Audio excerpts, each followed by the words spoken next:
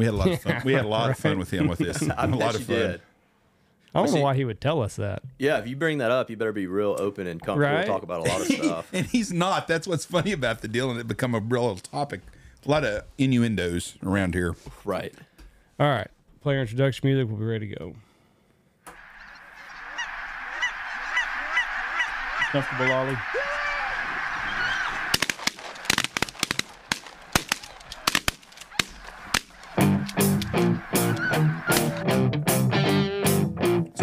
Ass dog.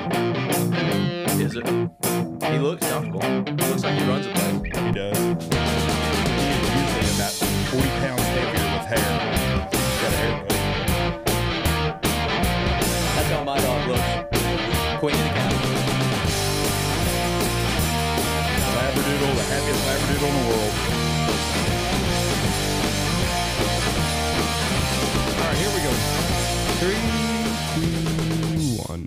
Boom! And welcome to the Big Honker Podcast, brought to you by Dive Bomb Industries. I'm Jeff Stanfield with the world famous Andy Shaver. Before we get into this, Andy, I got to ask you: Yeah. You still in on Kennedy? No.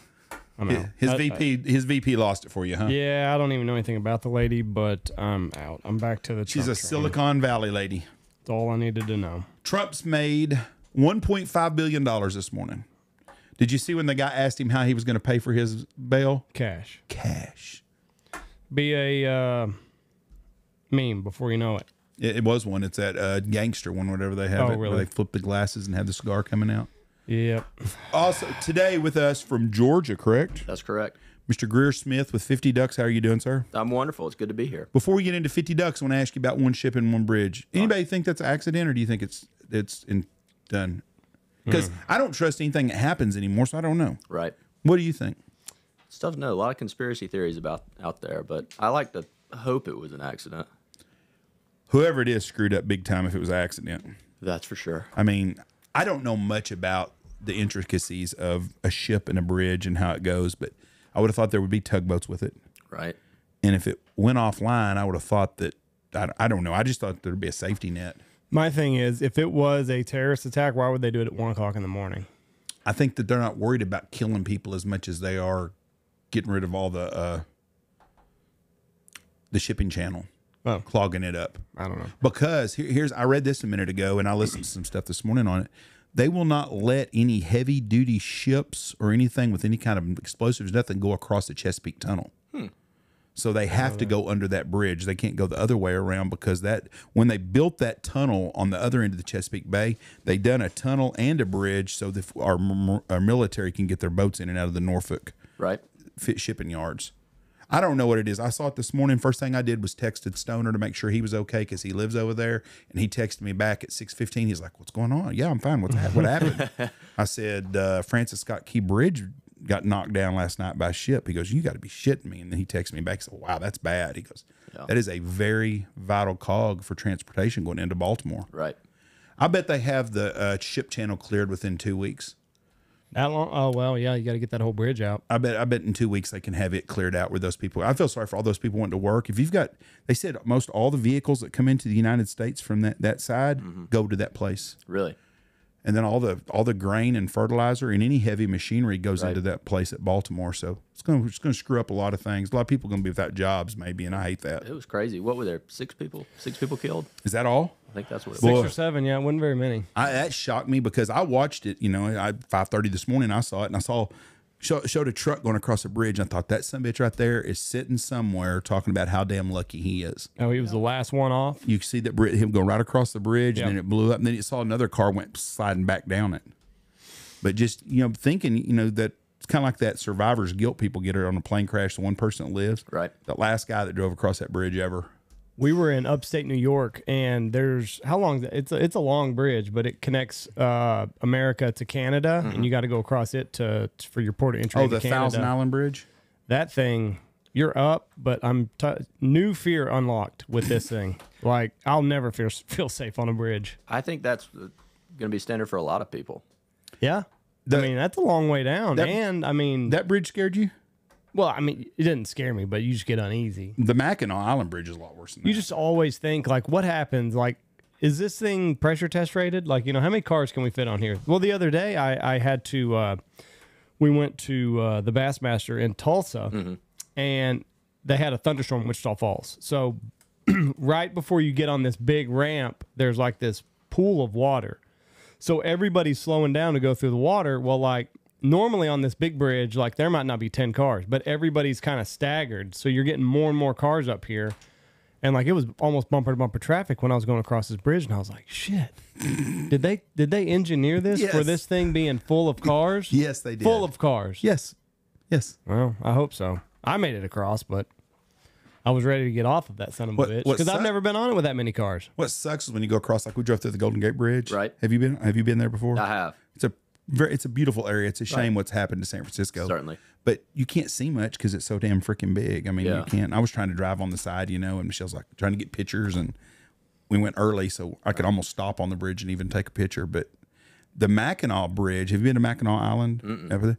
That bridge has got grates on it, and I'm assuming it's engineering for either wind or for all the snow and ice. Yeah. But you can see down, way, way, way down, and drive across them grates. That would make me anxious. I was like, well, shit, you know, the guy with the cheapest bid built them grades too. the guy with the cheapest bid built that bridge. too. yes, he did. I'm sure he did. Yeah. We met a guy when we were on Mackinac Island that his job was to take pictures for him, and he has to go.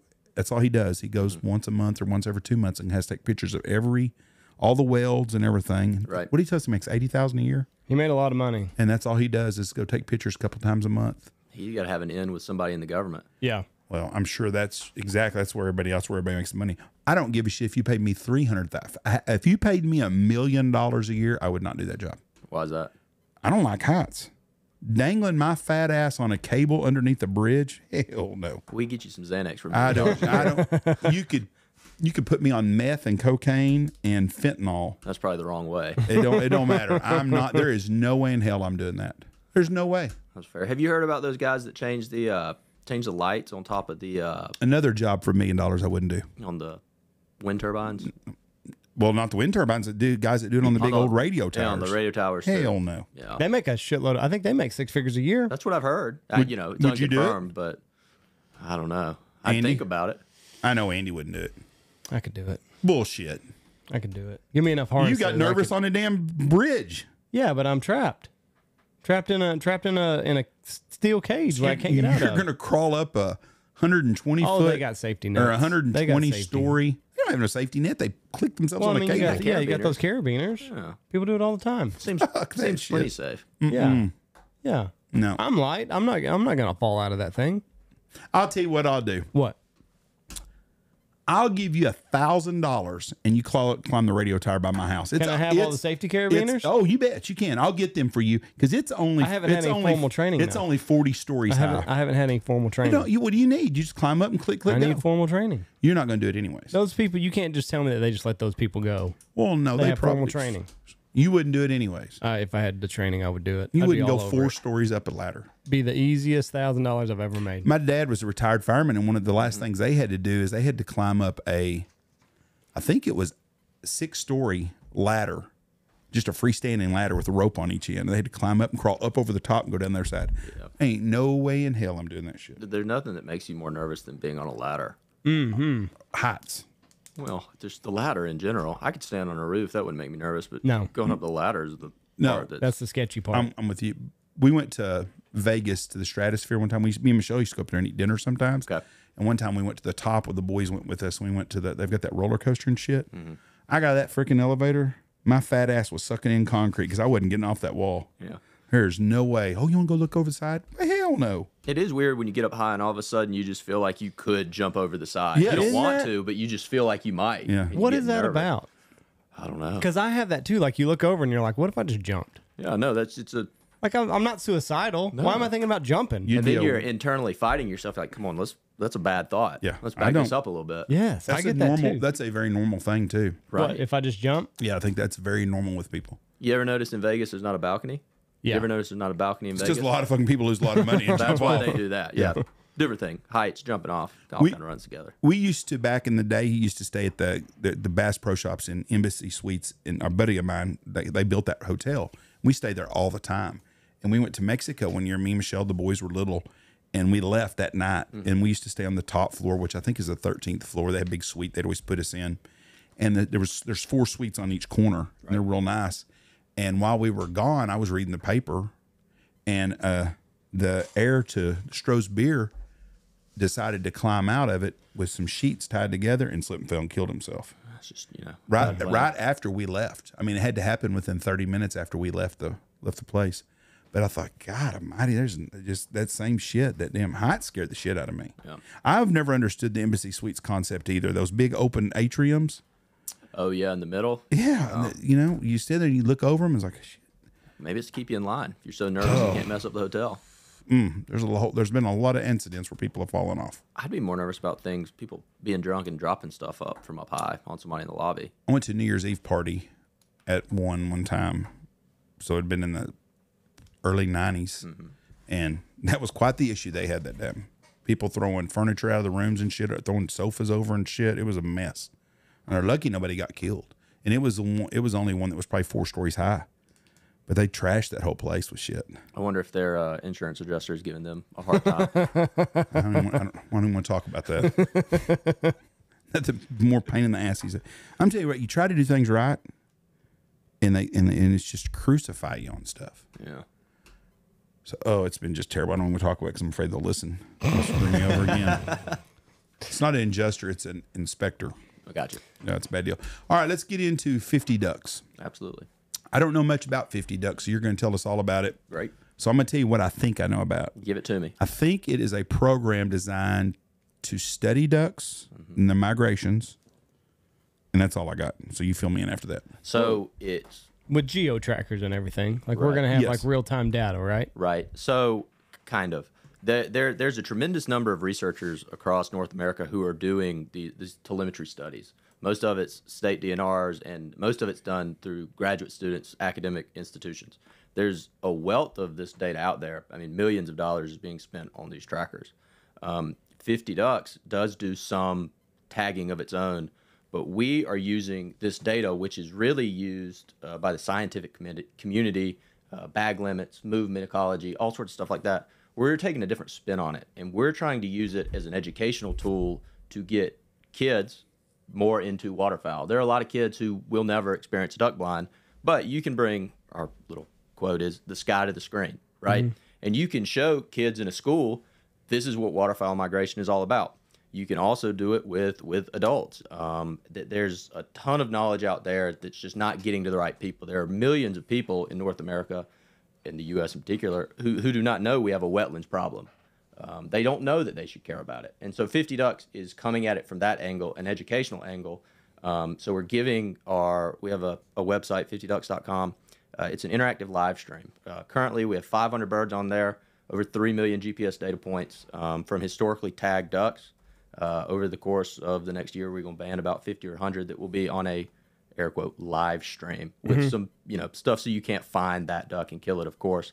Um, so you can follow the the migration live. So we give it away to kids, uh, anybody in an academic institution, and then we sell memberships to your birdwatching waterfowl community, and we use that to fund uh, future studies. So I'm at the website right now. So like how how many ducks?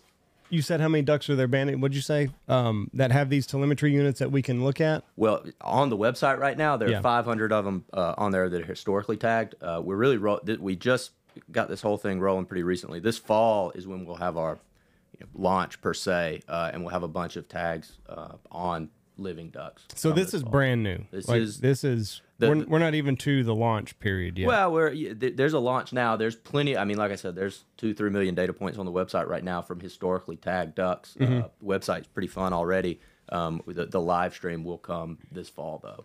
so what what prompted all this? Like what was going on to where you were like, hey, let's let's make this more enjoyable for kids. Yeah, well, it, you know, I worked in corporate America. Uh, me, and my dad, uh, were big hunters. Uh, we go to Venice, Louisiana every year, and uh, we had a guide. One year wasn't the best guide. Uh, ran us up on a mud flat, and so we were stuck there all day. And we were sitting there. We were there once. Been there. So, so we were sitting there, uh, just looking up at the sky, a- a- and we've gone every year for a while. I've got some family in Louisiana, so it's an easy trip. Um, and some year the ducks, some years the ducks are there, and some years they're not. And so we ask questions that everybody in the world asks, which is, why is that? Where are the ducks? Where are the ducks right now? Um, so so me and my dad, you know, had all day just to sit there and talk about it. And then coincidentally, I read an article uh, about a researcher at uh, in in Louisiana, Paul Link, who was doing a bunch of telemet- telemetry work on birds in Louisiana. Uh, went down a rabbit hole, started calling a few of these researchers, uh, learned all about this. You know, it's a small big world, this community, and uh, all these guys are banning these birds for scientific reasons, right? And uh, they have all this data, and they're doing so much good work with it. I, I want to really emphasize that, but it's not making its way to you and me. Uh, what this data is, um, it- it's going into uh, PhD the- uh, you know dissertations, master's theses, and it's going you know all the way up to you know U.S. Fish and Wildlife, right? But this data can be repurposed and can be used to be really cool and interactive for your everyday duck hunter, your bird watcher, Right. uh, your wildlife enthusiast. And so I figured if I was interested in it and, and they wouldn't share the data with me, I knew there would be other people that would be too. And so that started a, you know, a two-year journey trying to figure out how to get this data, uh, how to ban these birds, um, and it's been a, a full-time job for me for about the last year. Where uh so you're putting a geo tracker on or you're letting someone else put a geo tracker on. A little of both. Not us. 50 Ducks is not, we do not have a license to do this. Uh, our- big thing is we help with funding. The, these projects are incredibly expensive. Um, and, and a lot of the money that goes to this is through grant funding. Every, uh, and I've traveled the world meeting with these people. We went to the International Bird Observatory Conference down in Veracruz, Mexico, met with a bunch of people banding, you know, birds of prey, ducks, all sorts of stuff down there uh, from all over the world. Funding is the issue for all of these people. And there are some of these labs you hear about that are super well funded, right? And, and they get tens of thousands, hundreds of thousands of dollars a year to do these projects. But there are a bunch of these researchers that just can't get the money to do it. And so that's where we come in. We'll help fund it for you. We'll share, share the data, and we'll use the website as a way to drive uh, revenue to help, you know, expand on these programs. How are y'all getting y'all's funding? From private sources or y'all doing grants? It's it's self funded. It's me. Just you. Whoa. It's me. So you're just writing a check out of your own account. Yeah, it's uh that's the scary part of the whole thing that uh that we hope works with it. Yeah. So this is a business. this is a business. Absolutely. Okay. I, and, and yeah, absolutely. Don't get that, you know, in, incorrect. It, it's meant to do good, but it's also meant to be a business. So you're going to make money is what you're trying to do, doing a good thing. Yes. I got no problem with that at all. Absolutely. But that's what. So we're, we're we're not talking to someone from the U.S. Fish and Wildlife Service that's getting a ten million dollar grant uh, check. You're talking to somebody that, that put their house up as collateral and got a huge loan to start this. and so you're you're selling people to come to your website and join it. Yes, sir. And when they join your website, they pay how much per month? Right now, in the pre-launch, it's five ninety nine a month or fifty nine for the year. Once we get it launched this fall, price is going up, so you better get it quick. Sign up now. So we're talking about hundred dollars a year when it goes up. yeah, Is that pretty close? give or take, a little more, but just about fourteen ninety nine a month. 180 bucks a month. Hundred, yeah, fourteen ninety nine a month. Well, so that's- fifteen bucks a month. I mean, 180 dollars a year. I'm sorry. Yeah, year long discount, uh, one hundred twenty bucks a year. Okay, so so 10 bucks a month, 10 you bucks a can keep up with your ducks. Absolutely. For your internet scouters, it's the best thing going for you. Uh, absolutely, and, and it's a different. I mean, the mapping world is taking off now. I mean, you got Spartan Forge, you got Hunt Stand, you got onX, you got all these guys who are doing, you know, all of, all of this satellite.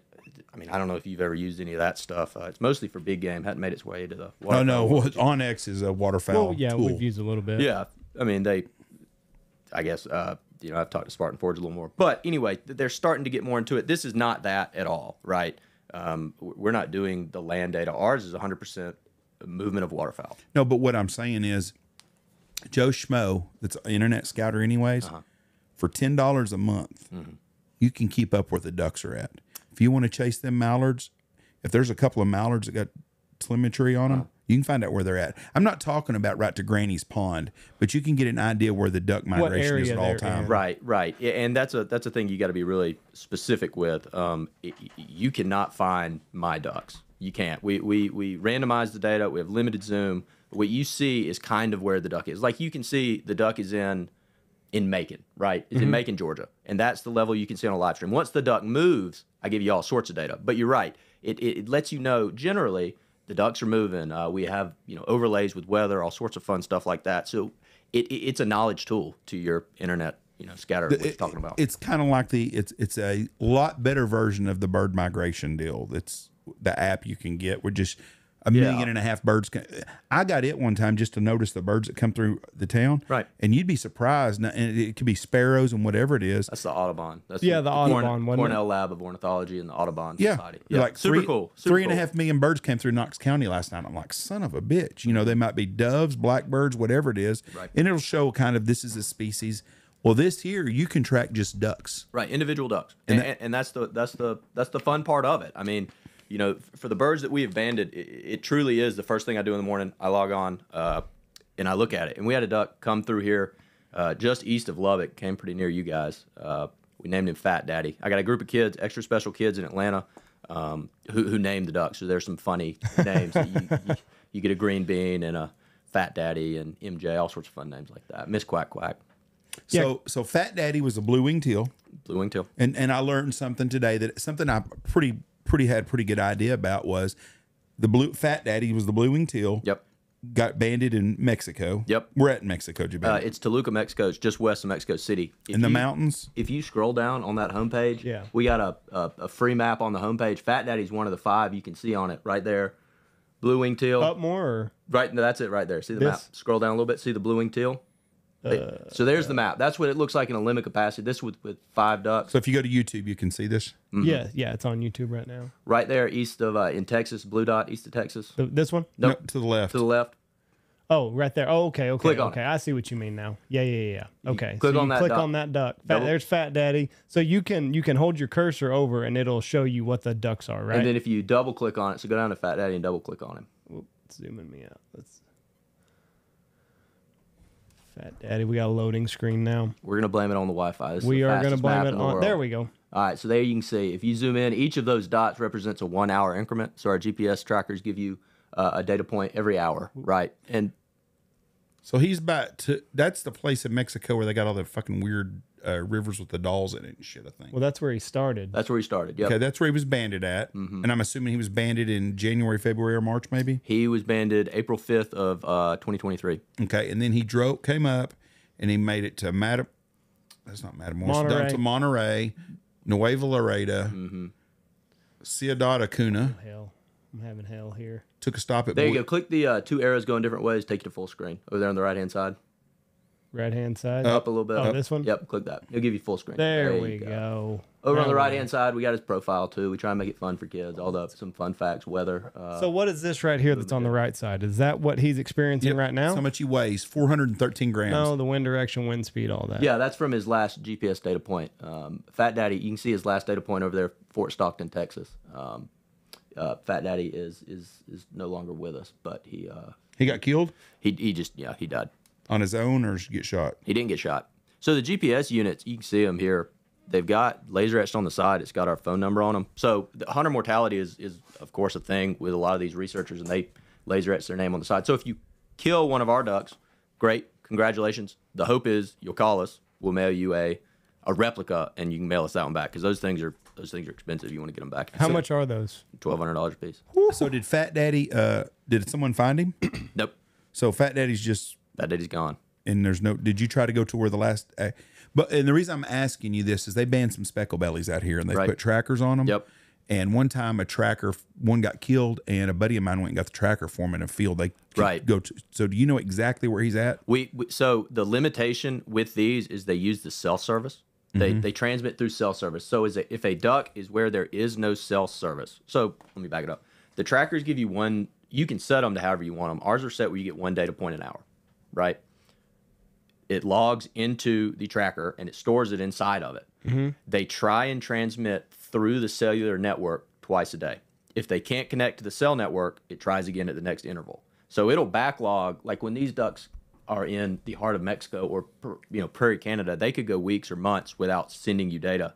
And then as soon as they get to cell service, when they're in the window, you get three months backlog data. So let me ask you this. Here's my dumb question. Each point, so you got San Angelo and then almost Sweetwater. Yep. That was one hour. Go so down. that's a movement point. Yep. You can zoom. You can zoom all the way in on that thing, and you can get to within three feet of where that go go that go to the north one, north of Sweetwater, the closest one to us, right there. He was in Rotan. Already, oh, wrong way. And you can click on it. Yeah, so he was in between uh, Rotan and He was between Hamlin and Rotan. Yeah, three fifty-five in the morning. Huh. So he flew all night. and you can zoom in all the way until you are literally on top of it. Now, oh yeah, he was just on some little bitty pond right But there. but so you can real data time your ducks and track them during the day data. Because the reason I'm asking that internet scouting guy's like, oh shit, No. right now. when does it when No, no, does no. it come on No, this? no, no. Thi- so this is after these ducks disappeared. You get this level of zoom in during the live stream. It, it's it's restricted and it's a very general data point for a living duck. Otherwise, your Joe Schmo would kill a duck So basically, what you're saying is you're just going to know they're in an area within 30 miles of somewhere. or wherever it is. within uh, the data is randomized, so it's an inexact location, and then we put it in a ten square mile box. Okay. There, and let me tell you, internet scouters out front. I know about our birds that they've bound, they've banded here with the trackers and stuff. Right. They can track it to the same field, and you still Oh yeah, I mean it's such a crapshoot. it's crapshoot. crapshoot if you've seen that bird. I've seen some of the speckle bellies with the neck collars here, Right. But not because I knew that they were going to be in a certain field because I don't have that kind of data ever. You may you may I just kill, know they're in our area, yeah, and you may kill one of these birds, but you will not kill this bird because it, it's on my map. right? They'll just, but you, after It's it's, over, you can see where it's at. Oh, of course, is some yeah. farmers hunt and field. That's that's a that's a really cool. That's a really cool deal. Follow him up. I want to see where. So this is what I found really interesting about this blue wing teal. So Fat Daddy never ever ever made it to Oklahoma. I mean Kansas. He stayed in Oklahoma. Is where he wintered or summered. Yep. Had babies, nested, He's a- whatever. yep. Drake blue wing teal. A Drake. Well, but he was with a. Yep. Yep. Of course. But that was his. That's his winter or summer grounds. His nesting grounds. Hooker, Oklahoma. and it was in where at Hooker, Oklahoma. Hooker, Oklahoma was his nesting grounds. And then he would fly. He'd go from Hooker to Clayton, New Mexico, stay around Hereford. I'm assuming at a feedlot up there. There's a something around Hereford he stayed a bunch in.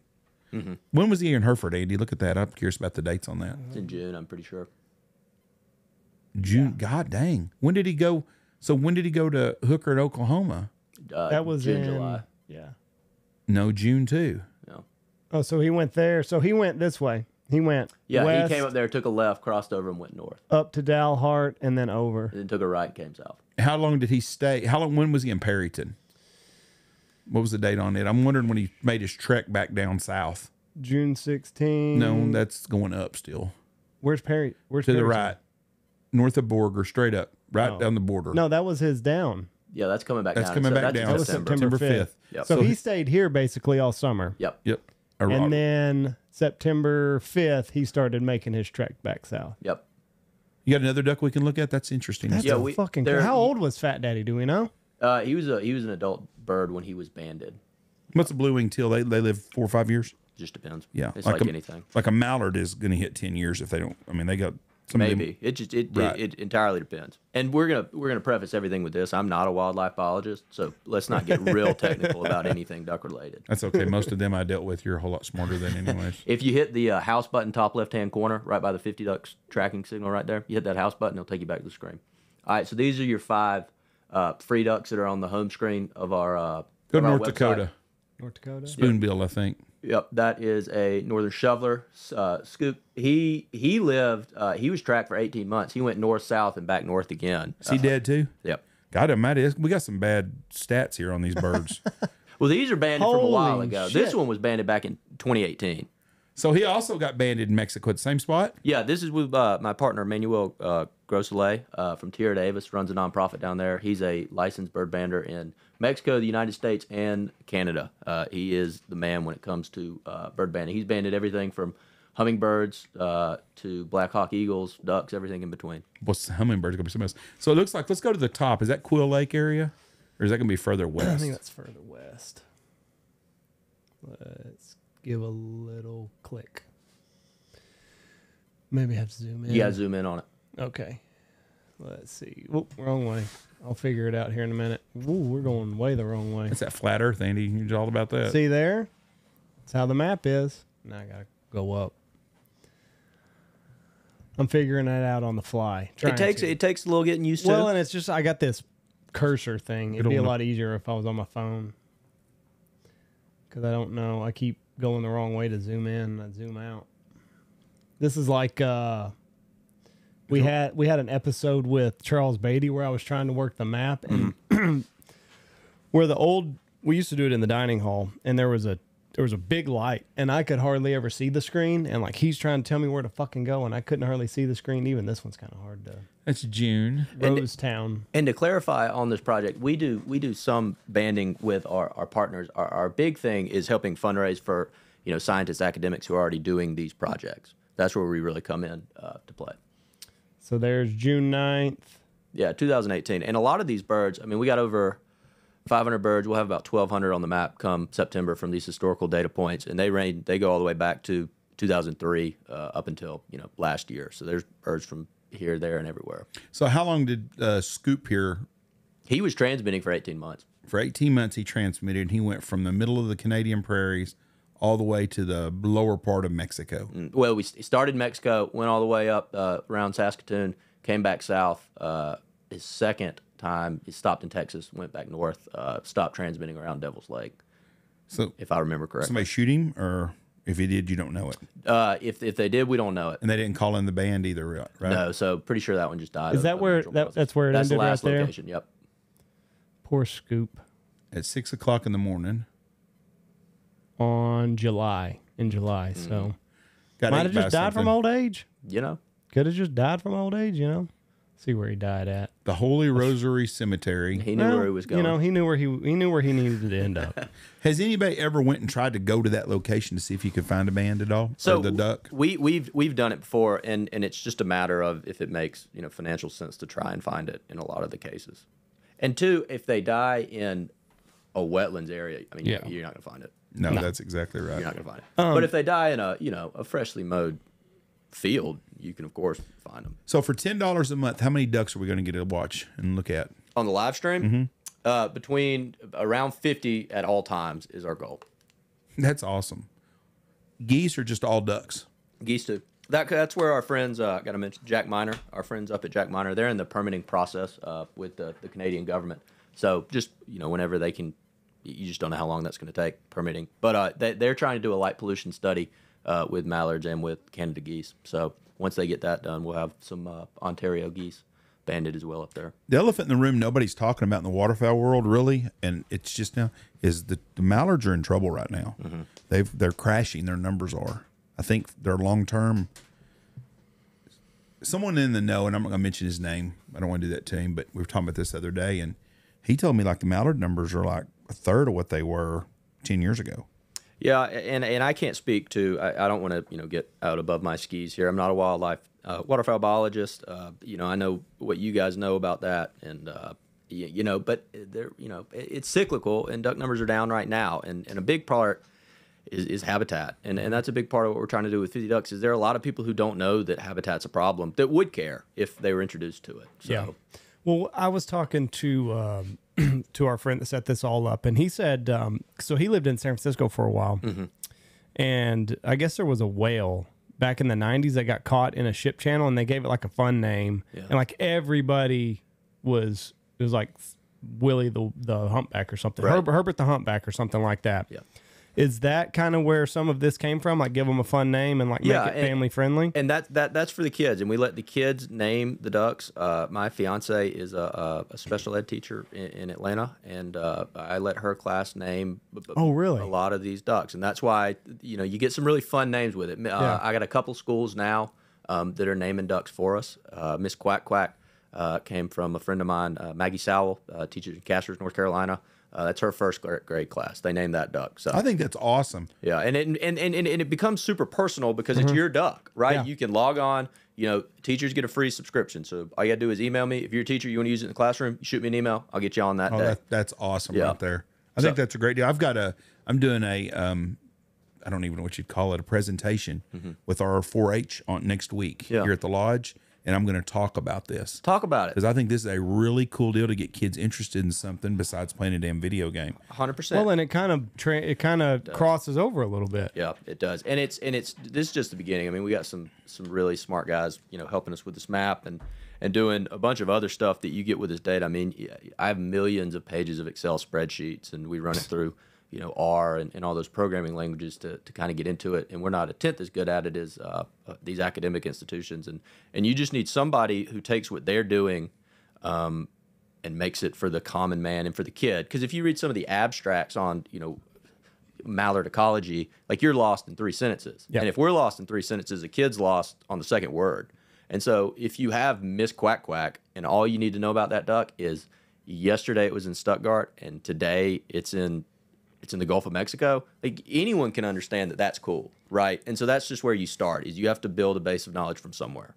You can teach kids so much. You can first of all, you can make it fun. Like, hey, let's check and see where Mr. Quack Quack is today. And our class is sponsoring this duck. Right. Maybe the other class sponsors one, and they'll have a race to see who gets to their uh, the Hundred- further south they're going to be, or who stops in uh, Mississippi first. If you take it, you know, and make Yeah, a game out of it. 100%. And you can teach some kids about geography because there's so many adults. My wife is one included.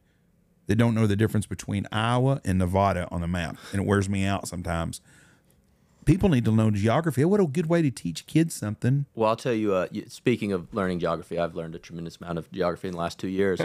I mean, I was looking at you know as Fat Daddy was tagged, we were following him live. That was when we were you know using trying to learn about all this technology. Uh, you know, last year when we were really getting this thing, the back end built for it. Um, you know, I was shocked that he stopped. I was thinking Hooker, Oklahoma's you know, not very far north, and then I started running the numbers, and Hooker, Oklahoma is as far from Mexico City as it is from Saskatoon. So Oh. it, it's he went a really long way, and and I haven't. I'm pretty sure that Fat Daddy traveled uh, about five thousand miles over the course of nine months. So It's also high elevation there. it is It's like 4,000 feet elevation. Yep. So it's not like, I mean, it's arid Oklahoma. right. But it's got a lot of elevation to it. Yeah. It is too, because someone, we were just talking the other day, Canadian Texas, from Canadian Texas to South Padre Island is one mile further or one mile less than it is if you go from Canadian Texas to the Canadian border. Right. It's only one mile difference. And that's what you're talking about about learning geography, Yes. and you're not even you don't you're not being preached to. You, you don't you don't think you're you're learning, and what you are learning is really cool. In our Instagram, um, we try and write those posts a little different than your typical Instagram post, uh, and, and we make them pretty informative, and so they're really long, uh, but it's gotten a really good response. And uh, you know, we do a bird of the day uh, where we highlight one of the birds from our map, and we give you a really in-depth view of it. You know, the altitude. Th- these trackers are incredible, and the, and the data these scientists are getting are unbelievable. I mean, they've got you got the speed, the altitude, you know, the heading, temperature, all sorts of stuff that comes on it. Andy, go back and check that uh, the goose up by Rochester, New York. I was gonna see if duck. Instagram was in a better mood Oh, go to the one on the right. Over here. Oh, by Rochester. Yeah. That's a that's a long-tailed duck. oh, cool. Holy hell! He chilled in the Hudson for a long time. and then went right down to where we were at. And we got a bunch of uh, a bunch of eiders and king eiders uh, from uh, up there around Greenland. Uh, those are really fun. I really like looking at those tracks too. I mean, the whole thing is uh, we got 15 different species on the map right now. There's something for everybody, um, even at this point. I want to. I was going to burn some miles and go to Greenland or Iceland, Uh-huh. air mi- airline miles. And I thought I'm going to go to Reykjavik. I thought it'd be a really cool place to go. And then I got all the damn volcanoes going now. Right. So hey, it's not a good idea. But I would love Greenland. There ain't much.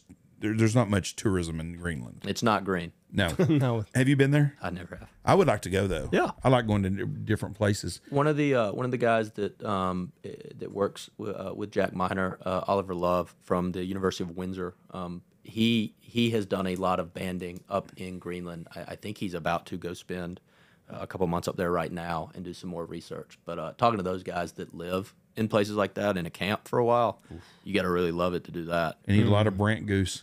So that's basically that little place right there. He's staying along that river and that in that bay of the Hudson Bay. And and there's some as the these telemetry units come a long way every year, and Yeah. some of these from the older projects, like you get the data, uh, it, gotten a lot better even over the last five years, as opposed to some of these birds. Like that bird's from pretty sure it's from 2012, so they continue to get better, and uh, the frequency of transmissions, the, the the battery life, all that stuff continues to get better and better. So if we if we bought into it right now, I- I'm going to buy them when I get to the house anyways or to my office. I'll get you a free subscription. well, I, I'm not trying to. I'll demo- tell you that I'm on not trying air. to I'm Democrat. a, I'm a charge you. okay, No, I'll- I'll- I'm not trying to Democrat nothing out of you. But if someone goes in and buys it, they're going to see more than these five ducks. 500. Five, see right there at the bottom, you see the species across the bottom. right here. That tells you how many of each one we got. Like uh, one to your right's tundra swan. We Ooh. got 50 tundra swans on there. Eurasian teal. Eurasian teal, I don't know. banded in Italy.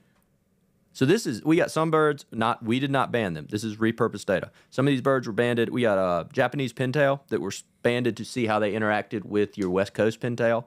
Uh, you got Eurasian teal banded in Italy that made their way into Siberia. Uh, cinnamon teal were banded by our friends at Tierra de Aves in uh, La Paz, Mexico, which is uh, Baja California. Um, blue wing teal, a bunch of those were banned in Louisiana. So there's 500 active. Not at, the, these are historical. How ducks. many active ducks we got right We're, now? we're launching it in the fall, so we're waiting. We're going to roll it out in the fall. We don't have it. We're not. Do you have any idea that you could tell people a ballpark over 20 ducks, 100 ducks? Come this fall, it'll be it'll be fifty. There'll be 50 ducks. That's 50 ducks makes sense. Yep. So there'll be 50 ducks that you'll be able to follow. yeah. This fall. start. Yep. How many of the 50 ducks that you're going to have the transmitters how many do you think you're going to get back? Of the transmitters, the uh, you know we built in the model. We weren't going to get any back, so everyone's a everyone's a win. Yeah. Makes sense. Yeah. No. It's just, it's I, I couldn't begin. I mean, and with 50, your sample size isn't huge, right? So it's it would be tough to gauge it based on what your you know your hunter, uh, you know your duck mortality rate due to hunting is uh, versus predation. So it would be tough to guess. If we got 10 back, I would I would call that a home run. Um, you know, I saw where they, uh, was it, is it birdologist, the California guy? Yeah. It's his or somebody's Instagram the other day, they banded some uh, Eurasian widgeons. really. They they caught them in some trap. I thought those were pretty cool. That's with uh, California waterfowl, right? yes. Brian uh, Huber. Huber. Yeah, Brian. He's been on the podcast. For sure. He's a sharp guy. He's a one of them. sharp guy. He's one of them biologist guys that's sharp. I've talked to him uh, before. He's he's a super with it guy, uh, super nice guy. Never met him, don't know him personally, but uh, from what I've heard, he's a he's a stand up guy, He's a hunter and an uh, scientist. which is important too. yes, uh, very which important. is very important. you don't need a pencil pusher doing some of the things that we do, Mm-hmm. but you do have need. You have needs for a pencil pusher. For sure. But I want the guy to run the Department of the Interior to be a hunter. They, they just have to have an understanding of where hunters come from, uh, in large part. And if you can you can empathize and you can understand that it, it all comes from a, or for most hunters, it comes from a place of conservation and a place of love, um, which is often overlooked by the non-hunting community. Yeah, if it wasn't for hunters, we wouldn't have birds. No Well. I, I'm sure y'all have heard about like the big game imports that they're doing in England now. Like that's going to kill trophy hunting in Africa if they continue doing stuff like that. so th- they're doing like the the UK just passed. Uh, it, the, they're in the process of passing a bill that would ban the import of trophy game from Africa into uh, oh, England. if you shoot one, yeah, you in can- Africa, you can't import the mount back. Okay. so that's I mean that's going to kill big game, and it's only from certain places and certain animals, but it's going to kill big game because that the only reason those animals are not all poached is is because Right. they have a value, right? And so they're protected, right? I mean, so stuff So like that's once, a bad deal. Once you take the value of an elephant being shot out of the market, Yeah. they're going to kill every one of them because they're detrimental to their crops. Yeah, or a poacher will kill it and take the ivory, and there's nobody to protect it because there's no value there. That- that- that- and you can't expect somebody to do something.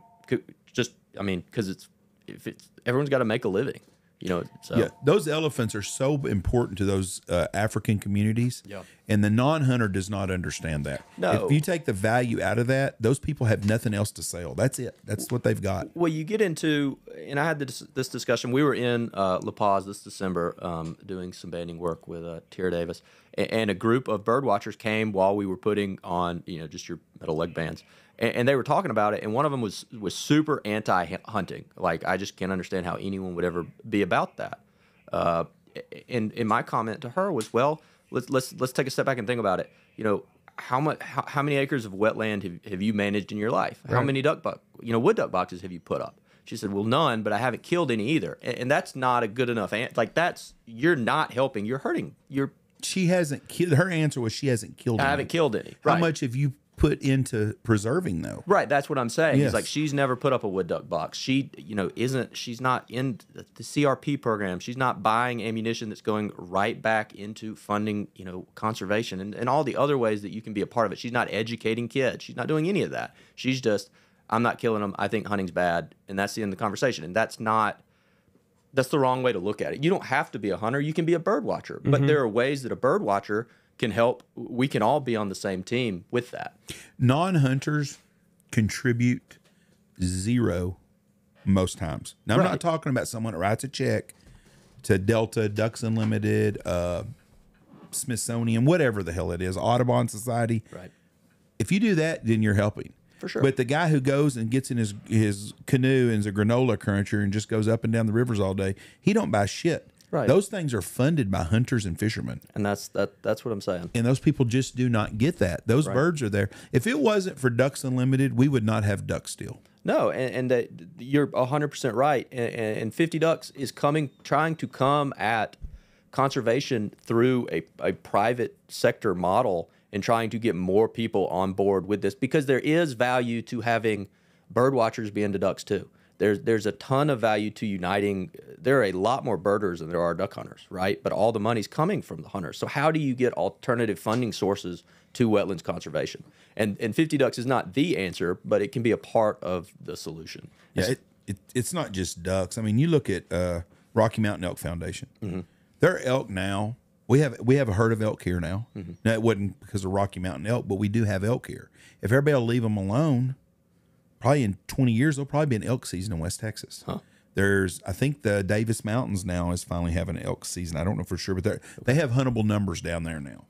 Oklahoma has elk hunting. Nebraska, Kansas. I mean, all through the Midwest now, and elk are plains animals Right. but they're here because of hunters Right. and the hunters are the ones that are making it where, where you're seeing them now Right. and, and it's that way everywhere i mean well even the mountain lions in california are out of control now Yeah. I saw that a mountain lion killed somebody. Yeah. They were shed hunting maybe the other day. It attacked two people, killed one of them yeah maybe. brothers Or- yeah. killed a brother and hurt the other one pretty bad Named the other one. That's what I heard. I didn't see that. I that. saw that on Outdoor Life. you get a 150 pound cat that dog weighs 70 pounds can you imagine a cat twice that big i mean that's scary Well, think about a think about a wolf that comes in a pack that Yeah. weighs 200 pounds. What are you going to do with six of those? That's, shoot them they had to shoot every one of them Pray. I still don't understand the whole wolf thing. I don't. I don't. The bunny huggers. I don't. it's a tough. It's, It's- a, it's a complex thing, and I don't know enough about it. But you're right. You can't just say there should be wolves. Like that's not. Some things just outlive themselves. We can get rid of mosquitoes. They're, I'm telling you right now, if you come up with a solution to get rid of every mosquito, there'd be a group of people out there bitching and raising hell They over probably, a damn mosquito. They probably don't live where there are a bunch no, of mosquitoes. but a wolf's the same way. I don't know what it does to add. Nothing. It's just a killer, and it's it's not like it kills just to eat. It kills for fun and sport. Mm-hmm. But I saw in, I saw in Idaho, there's a sector up there before they introduced wolves had fifteen thousand elk, Right. And they put in six elk, wo- six wolves. Now there's 150 wolves there, and there's 1500 elk. Yeah. Well, something's wrong, right. you know. Yeah. So if you live in Colorado, get rid of them. Have you seen the video where the guy has the mountain lion coming at him? He's like, "Get back! He's got the pistol. get yeah. back!" And then th- he he ends up shooting it, doesn't he? Or does he do like a warning shot I've it turns seen away? I've seen that video on Instagram, I believe. Um, but I've seen one where it's like, I mean, whew, talk about your heart racing. Be glad you had a pistol then. See the grizzly bear the other day coming charging at the guy. No. Shit, he shot that sucker from here to the wall. With what? A pistol, and I'm telling you right now, he must have shot it right because it sprayed stuff on him after he shot it.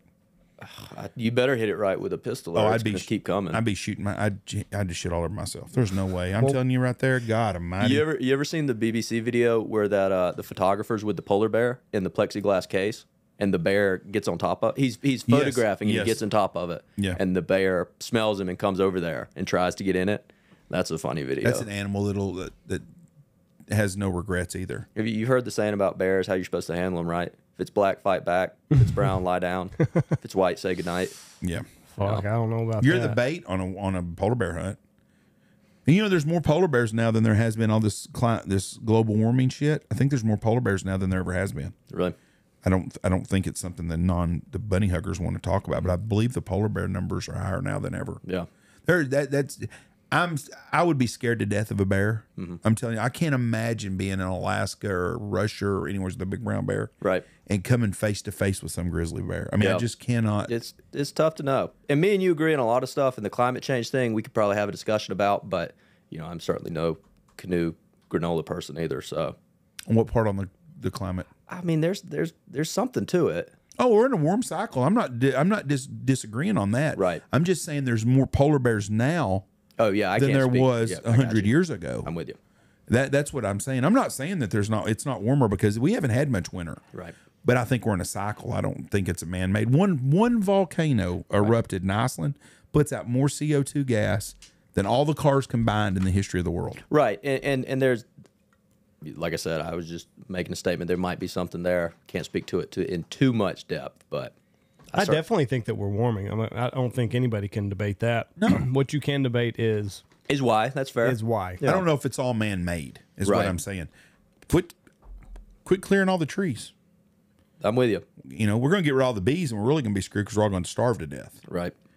There is no doubt that man has uh, made a bad imprint on a lot of places. Certainly. I met some really nice gentlemen from California this week at Bass Classic. Great dudes, great, great, great guys, and they grew up in California, and they're getting the hell out of California Right. because of how bad it is now. And the guy gave me a number, and I and I, I can't remember what it was exactly, but let's say that when he was a kid growing up in 1975, California had a population of 10 million people, maybe Okay. the whole state. Now there's 40 million people live there or something now. Right. Dallas Fort Worth used to be a million people in the whole Dallas Fort Worth area. Now there's was it six now? I think there's six and a half million now, and they expect it to be 40 or 50 million with by 2040. Uh, Houston, Austin, and San Antonio is all one conglomerate. All used to be spread out. We're overpopulating stuff For There's- sure. There's no doubt, but the population numbers are going down worldwide. But my God, you can't go nowhere. It's ter- It's like the big areas are just full of people, and the growing. small areas, like out here where we are, we don't have very many people. Well, well, if you make your way to Georgia, I mean, Atlanta feels like it goes 40 miles in every direction. Yeah. I mean, truly. How, how, how old are you? 29. Did you grow up in the Atlanta area? No, I grew up in Macon. Uh, I'm from Macon. I moved to Atlanta for work. I do not claim to be from Atlanta, and I'm getting out of there as soon as I get married. So, but I have lived there for the past five years now. I didn't know anybody white lived in Atlanta because I ain't never seen nobody at a stoplight. I've been there. It's uh, I'm not going to comment on that. Well, uh, we had Bryce Elder on, and he pitches for the Braves. And I mean, what did he said? North north of town is okay. No, wherever he's at is nice. He said Cobb but- County. Yeah, but that's you where they get- built the Braves Stadium. That's but Cobb County. Yeah, but you get the wrong side of town. Yeah. Now I'm gonna I'm gonna backtrack on my comment I made of Atlanta. Mm-hmm. When I went to Atlanta, the couple times I've been to Atlanta, there's not a lot of white people there. Now, it is more professional black people than anybody I've ever been around and place I've been in my life.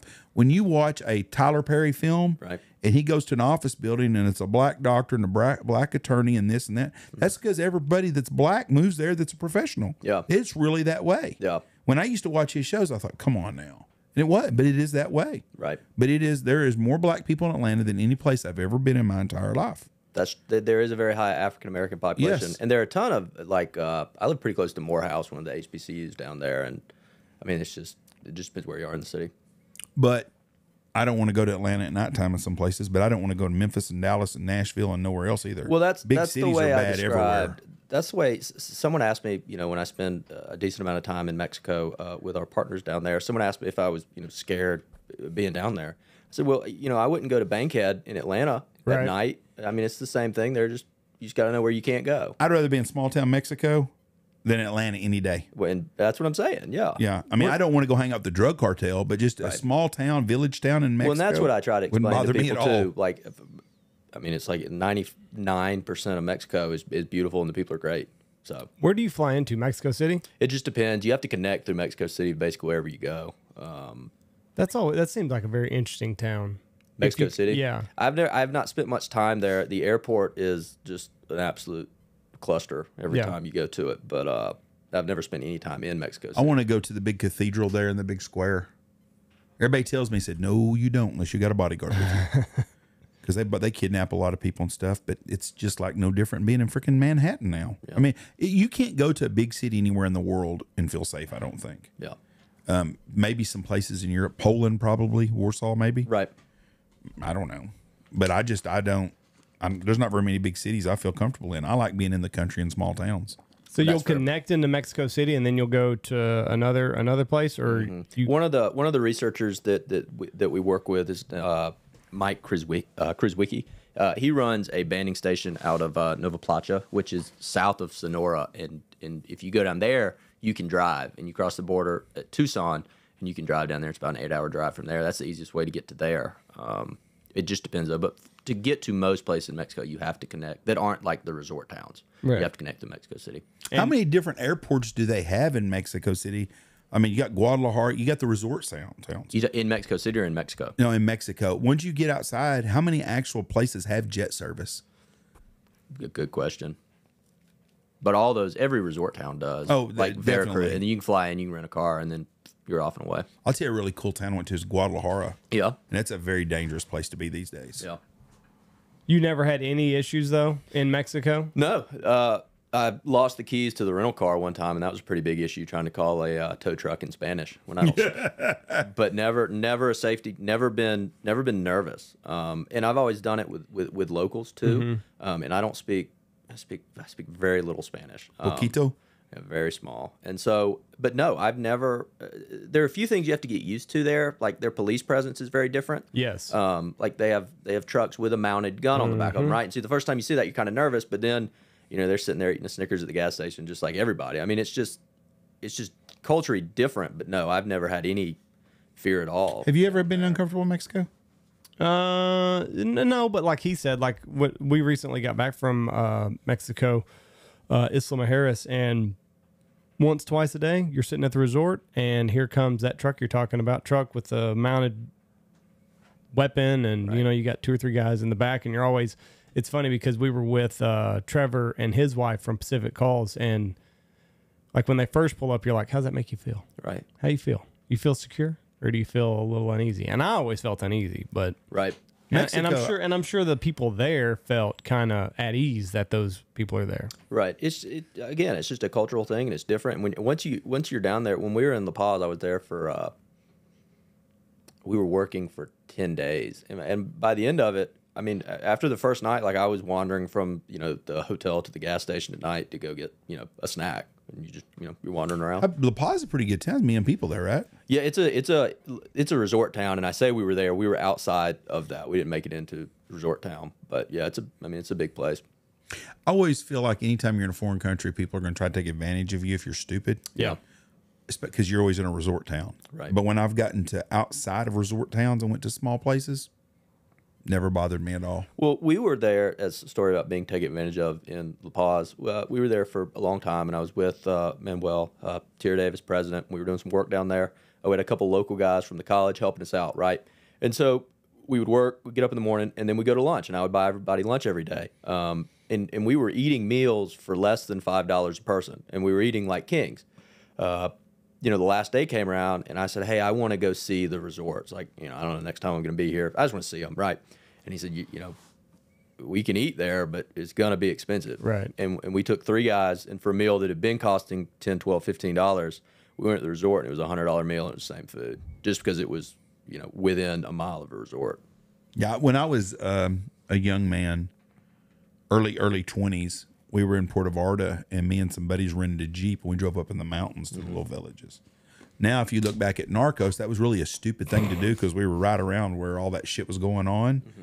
But fuck, we'd go into the bar and have a beer, and then go to the next town and have another beer, and just drove around all over. Right. My biggest fear was running over a dog, because if you run over a dog, you got to pay for it supposedly Okay. you know, and and we were in these little towns with no stoplights, no just cobblestones, Right. But had a good time, had a bl- had an absolute blast. But I like seeing different things. But I never was uncomfortable No. at all. Never, I was too stupid to be uncomfortable because I was probably in some really bad spots. Yeah. But when you're 21, 22 years old, you're bulletproof anyways. That's, you know, But I, I like foreign countries. I think what you're doing is really neat. I think that you can educate so many people with this. right. And um, man, the schools, this ought to be something that schools and ags and there's a lot of duck hunting kids. We have a lot of duck hunting kids. That, unfor- I can't believe their parents let them listen to our podcast, but they do.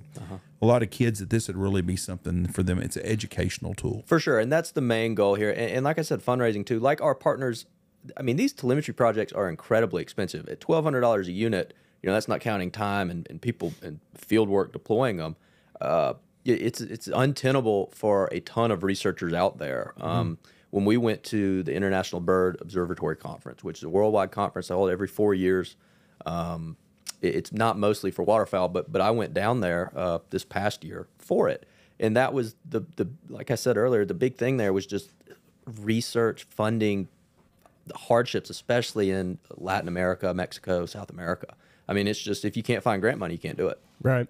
So the uh, the the tracking unit that goes on the back that's twelve hundred bucks. Is there any cost difference in that net collar that you have there? They're about the same. They're about the same. Yeah, they're the the net collar's uh, a little less expensive as they get bigger. They become less expensive. Oh, really? Because the the expensive part is the hardware that's in it and and making it small, right? Because Right. there's a little computer in that thing, and uh, and the battery's expensive too. The solar charging. Uh, is a big uh, pain point w- uh, with the whole thing. So as you get bigger with them, it's counterintuitive. They become a little less expensive. So they'll put that on, and they'll put just like your regular leg leg band on with it, or will it just be that? So they'll put that, they'll put the tracker on its back, right? It sits right on its back. And when we get done, you can look at the Instagram. I got some pictures of it. I've got plenty of them on my phone I can show you. Uh, you build a harness, you run the harness right here under the wings, pop it on, uh, observe the bird. It takes less than 10 minutes to put one on if you know what you're doing. Really? Mm, You put the leg band onto, yeah, in the US and Canada, you cannot band a bird and not put a, uh, a federal leg band on it. A leg band on Mm-hmm. it. But in Mexico, you can get around that. No, we still put a leg band on You do? Tierra de Aves is a uh, Manuel is a a master bander in Mexico, and he is putting on bands down there. They don't have a federal banding system like we do here, though. Mm-hmm. Uh, he self funds most of the bands he puts on. Um, and, and- Really? and, he he's gotten. They don't do it anymore, but he used to get a bunch of his bands from the BBL, the Bird Banding Lab here in the United States. Mm-hmm. Uh, I don't think they do that anymore, but I mean, he's a man that truly loves it and has been coming out of pocket for for decades to do this, and that's how it is in a lot of places. Um, you know that that don't have. I mean, America's got it figured out with the with the banding system. I mean, they got it figured out, and it, it's the model for conservation um, across the world. And then they, they they do not have that in Mexico, um, and, and people down there desperately want it. Some of them do. You know. Well, how do you think America figured it out? Do you think it's just because it, there was enough interest in it that they could generate revenue to put money into this? I think that the, the hunting culture is just so deeply ingrained in so many Americans that it it I don't know. It's a big citizen science thing too. Like you, they've done a really good job with with leg bands of making people excited to kill a banded bird and to Right. call it in. right. Um, and, and it's not the same with, with like a collared deer. Uh, somehow, if you, you you kill one of those, you feel like it's not wild. But if you kill, you know, a banded bird, like it's been handled by a human before. You're not the first person to touch that bird, but for some reason, we still feel like it's a trophy, even though it's not. You know, it's been touched by the dumbest human bird in the before. flock we're proud to shoot. But if we get the banded, you feel like a real ass if you shoot a collared deer. Right. You think, man, what kind of person am I to shoot that deer? Right. It's like it's a pet, but we don't Right. feel that way about the birds for some reason, and so Yeah. No, it's a trophy, and it always will be. yeah, hundred percent. And people, it's crazy. We'll have I'll have an old guy every year in here that duck hunts constantly. I'm not talking about a guy never shot a banded bird. Talking to a guy 70 years old, been hunting since he's been 15, 14 years old. Been with people that have shot him and never shot a banded bird. Yeah. And then you'll get the guy that's on a corporate hunt that's never hunted before and will shoot a banded bird. You should have double band. Yeah. should a flock of them. And yeah, we can't talk about banding without me mentioning Jack Miner. Uh, I know you guys know their story. Jack Miner himself was the first person in North America to put a band on a duck. Um, he did that in the early 1900s. Banded bird up there got killed in uh, got killed in South Carolina. First birdie banded got killed by a hunter in South Carolina. Uh, he helped.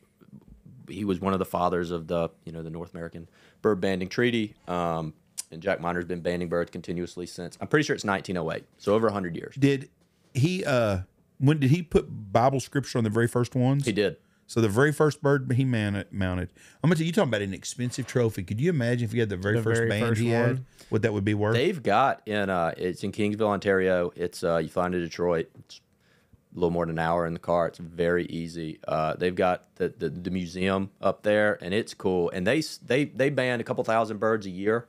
Um, Joe Vermeulen is as into it a guy. He's their uh, bander. He raised his family in a house on the Jack Miner grounds. I mean, he's as devoted as you can be to it. Uh, Tom is their executive director. Uh, he's he's doing a great job up there, and, and and Jack Miner's got a sweet thing going. I mean, when they're feeding, they got they grow their own. You know, they got a cornfield, and they put out enough feed where they grow it themselves. Uh, you can see it when they're getting birds up over there, and they're getting tens of thousands of ducks and geese up. I mean, it's it's a How many birds they band a year?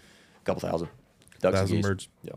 How many birds? do- I, I know you're not a biologist. How many birds get banded in Canada and North America in a year? I couldn't tell you. I saw, I saw the uh, the Osborne Lab. They're out of Arkansas. I saw that they had banded, I think, four thousand birds this year out of that lab. So I, I mean, it's and and a bird. If you have you ever done it, you ever put a band on or been on one of those? The, the whole thing, i- it's the smoothest, quickest process there ever is. We would like an invite though. Y'all can come up to Jack Miner. You gotta be on your best behavior though. You know how Canada is. yeah. Well, Yeah, I've had a lot of trouble there. I already have a Andy's hard time been booted out. Every time we go, I get pulled aside. Well, that's because you you broke the law and you got caught. I broke the law for you. Well, technically, Tech, well, no, it's not technical. There's no technicality about it. That's what it was. Well, So you should be the one getting pulled out well, every time. next not time me. tell them. Yeah, it's it's the big guy in the back. It's his fault. Um, so how long, like, because they'll put the band on, Yep. they sex it.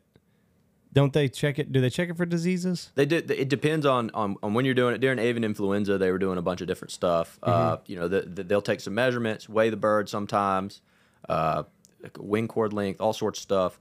Put it on, write down that information, corresponds to the band, throw it up in the air, flies away, bird's gone. What? Three minutes, maybe.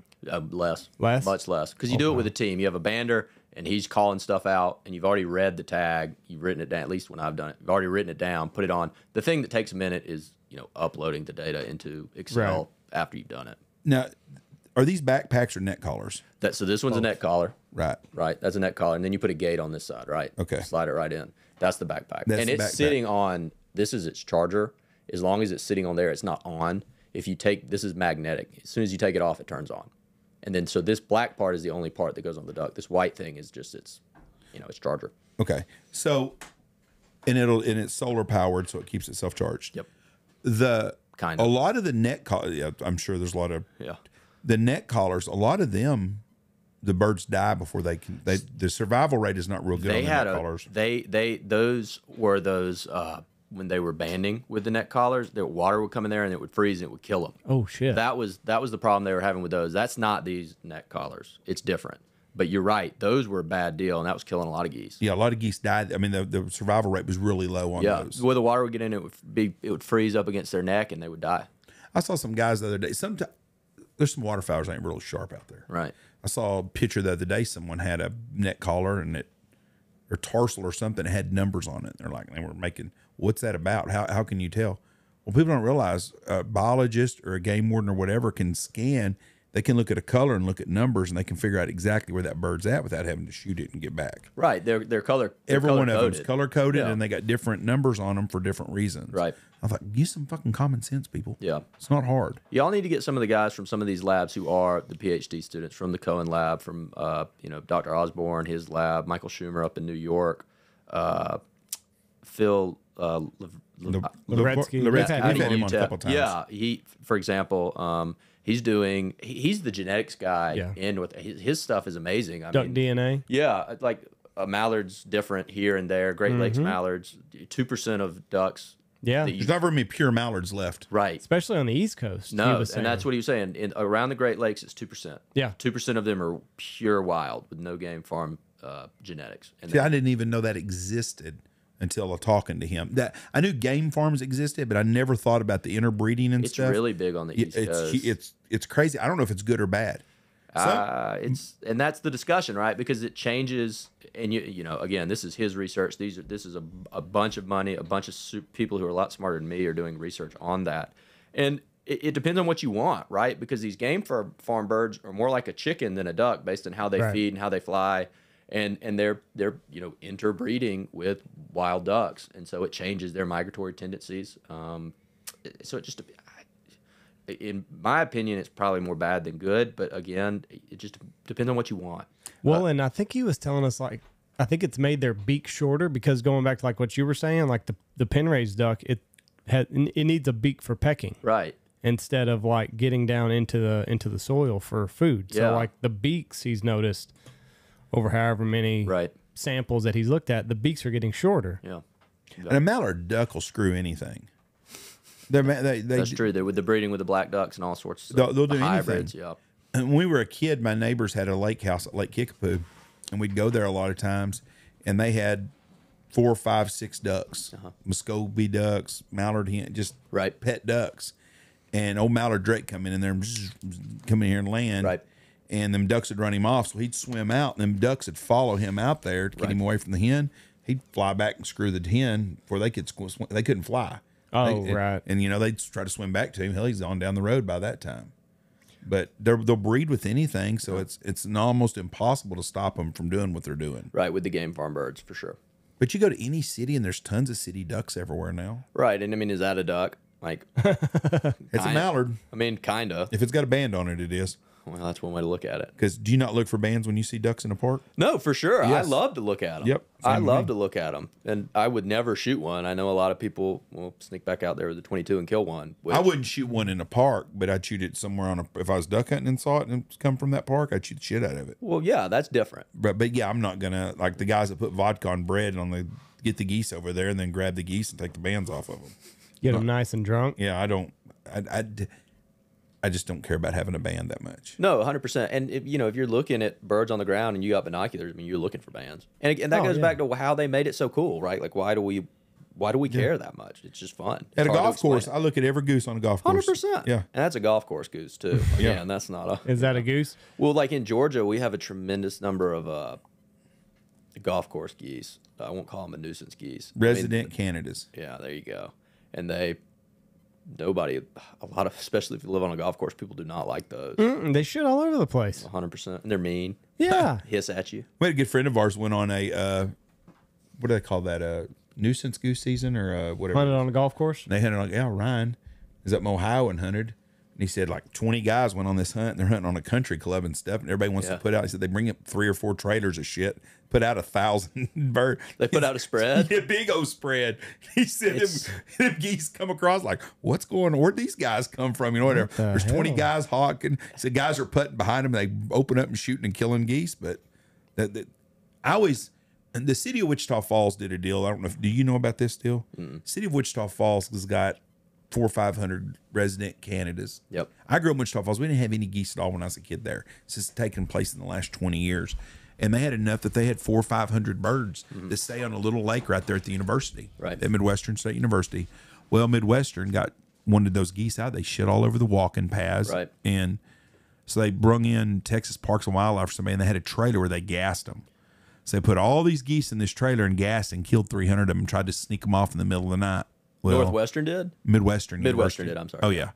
Well, it backfired on them because everybody knew about it. Yeah. Now, what most people don't know, like I would take, I would have taken six of those geese and put out here. We got a little pond out front and stuff. Yeah. But as soon as those geese got their molt wings, their wings back, They gone They're going to fly right back to Wichita gonna Falls because that's where they're from. Now, if you'd have got a newborn, some new, new hatch. new hatch, then you could have kept them here. Well, that's how they brought them to the state of Georgia. They had migratory geese and they clipped them, and so they had a you know a hatch here in Georgia, and then the the adult birds went back, but the hatch birds imprinted. And Yes. that's why that's how they did it. But in a simple form. and, and now they, a bunch of those geese are back. You know, they don't have the numbers they had before. Right. But the bunny hugger person that do- does not understand that, they think that, oh, you should just give them somebody else. They just stayed on my sister's pond at her house. Right. They wouldn't do That's that. not how that works. They're all going to go right back to where they were raised and they were brought up at. They have food there. People walk all the time there. They throw bread for them. They feed them all the time. Those birds have adapted to that. Yeah. There's also a flock of mallards in Wichita Falls that comes off the lake that are wild ducks. A guy feeds in his front yard. He feeds corn. Yeah. There'll be three or four, five hundred ducks, wild mallards, in his front yard. Yeah. When they're here during the wintertime. Yeah. And then they leave. There's a bunch of them that stay all summer too. Yeah. Once are- they find that food, I mean, they're they're gonna come to it, especially if they're not getting bothered. Yeah, That's how I mean, it works. You're driving through a neighborhood and there's all these ducks just coming in. The guy sits on his front yard and watches them every day. Yeah. I think that's neat. Yeah, I but, do too. But I could see where some neighbor that doesn't want duck shit all over does not like seeing three or four hundred mallards in his neighborhood. Right. It's like you walk out and there's a bunch of bird poo on your car. I mean, Yeah. you know, you can kind of see it from that And but all the neighbors around there, all their flower beds have got nest in them this time of year where they nest. yep. And they, you know, they got to fight off the house cat. Right. But Speaking of house cats, uh, I don't know. House cats for songbirds are the number one predator of songbirds you, in the we, United we States. can't talk bad about cats. Andy's a cat person. Well, he was gone. him, He just got man. back. We could have done it quicker. Yeah. No, house cats. They'll they're He hates fucking. They cats. deci- they decimate.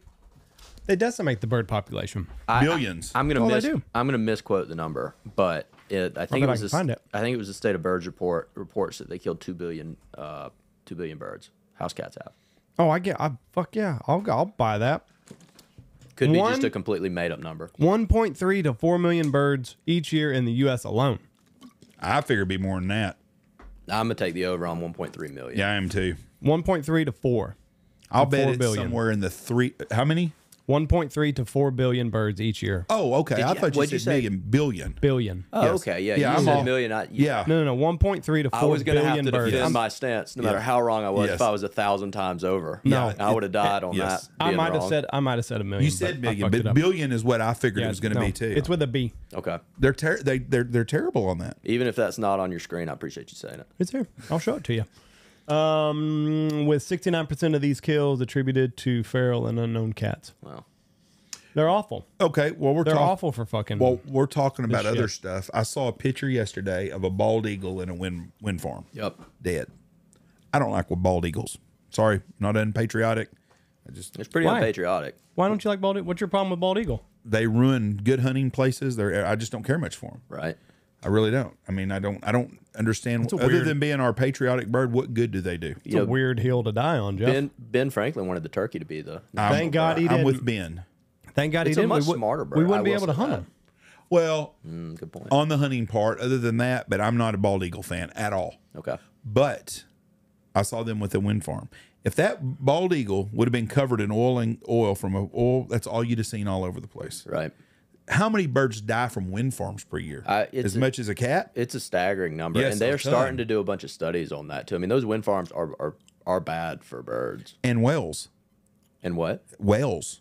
Have you seen the ones off the east coast? Oh That no. they're, they're messing up their sonars. There's like orcas are f- swimming in and humpbacks, and I'm not. I don't know shit about whales, Uh-huh. but they're swimming into the beaches and getting stranded. And they say those all those turbines out there in Oh, that wind, confusing 'em it's somehow. Hmm. confusing the shit out of them.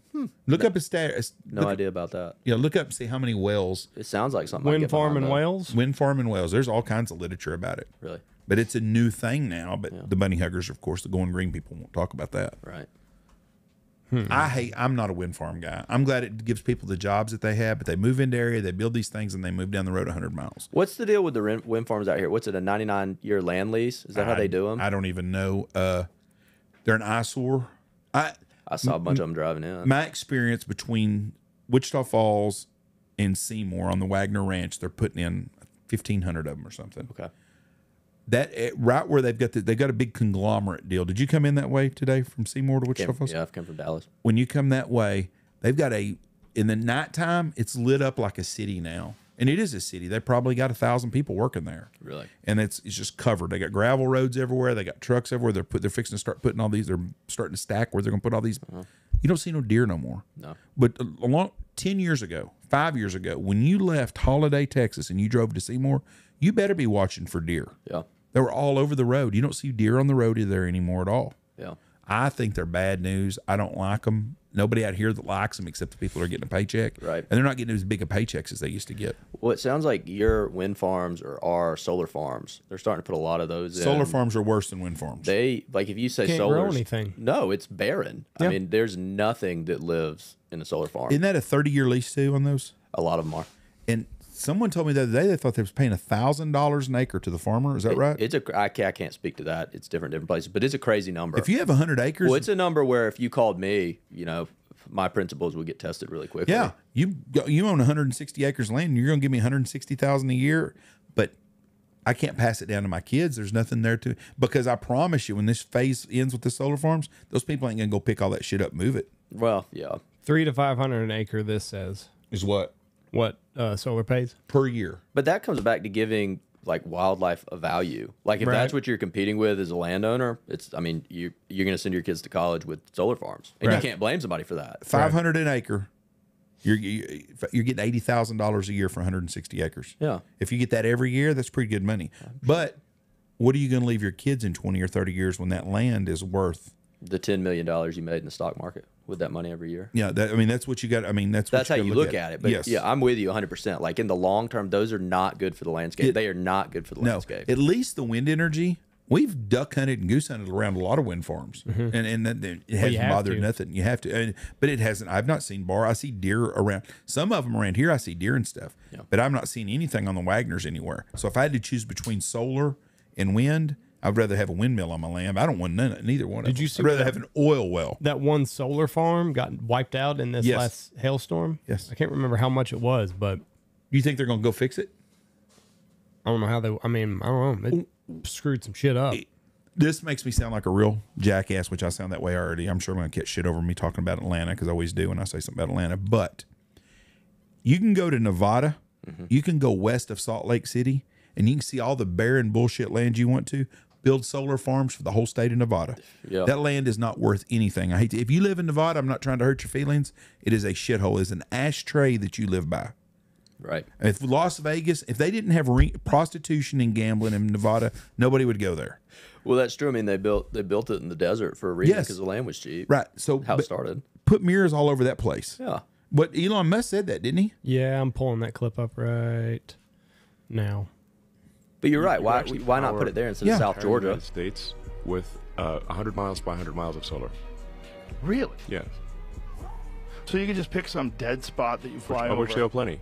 cover that sucker up with Correct. solar panels, and charge the whole country Absolutely. 24 7. You need batteries, but yeah. Yeah. That's going to be the hard part. Wow. Yeah, it's not hard. I mean, 100, everything is 100 by 100. So, like he said, I think he said it in this clip. Pick a pick a corner of Nevada. That's the not place to go. anything. There's nothing there. Don't Even do it on the fertile ground. even the eastern side of California, the around Death Valley and stuff. Right. Same way. There's a lot of places. You can go to some places in West Texas, out between El Paso and, but now they got oil wells, oil under it. But Right. there's places that we could go The without problem, Georgia. The problem is the batteries. no, not well. That's a big problem. Getting the shit where it needs to go.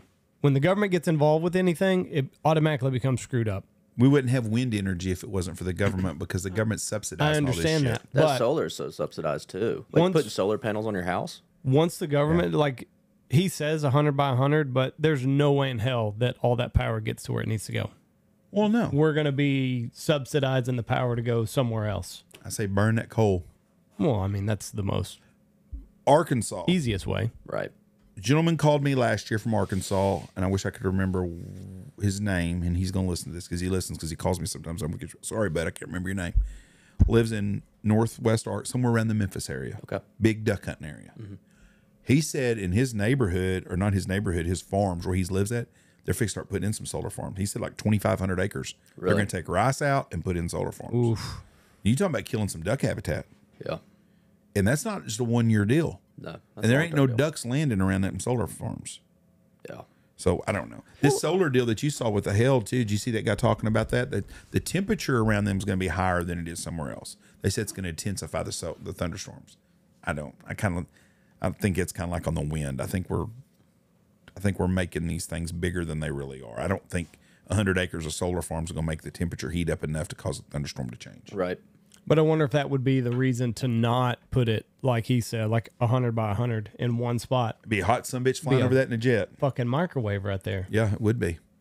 So maybe that's why they it's better to space them out. That would have some long. That would have some major effect on storms. I think 100 by 100 miles by 100 miles. You get a lot of heat in there. That's gonna. You would really have some severe storms. Right. Or it would get so hot that it would screw up cold. Front. I, I mean, I, that's that's playing with Mother Nature a little bit. That's a big. That's a big area. That's Yes. a lot.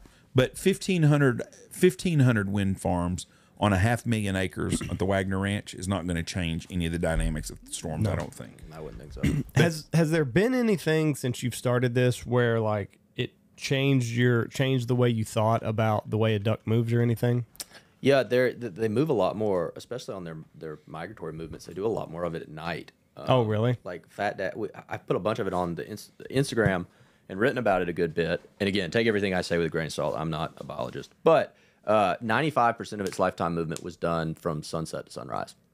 95%, and a lot of that is because of migratory move. These long, you know, 600 mile movements in a day. Uh, they go a lot faster and they fly a lot higher um, than I previously thought as well. So Why do you think do you, do you think they can see better at night? you know, I don't know why they they migrate at night. That's your guess is as good as mine as to why. Less is. traffic. because I've always wondered that too. Because like you'll go to you'll you'll be you'll ride around these back areas because like where we hunt, it's basically a twenty mile circle. Mm-hmm.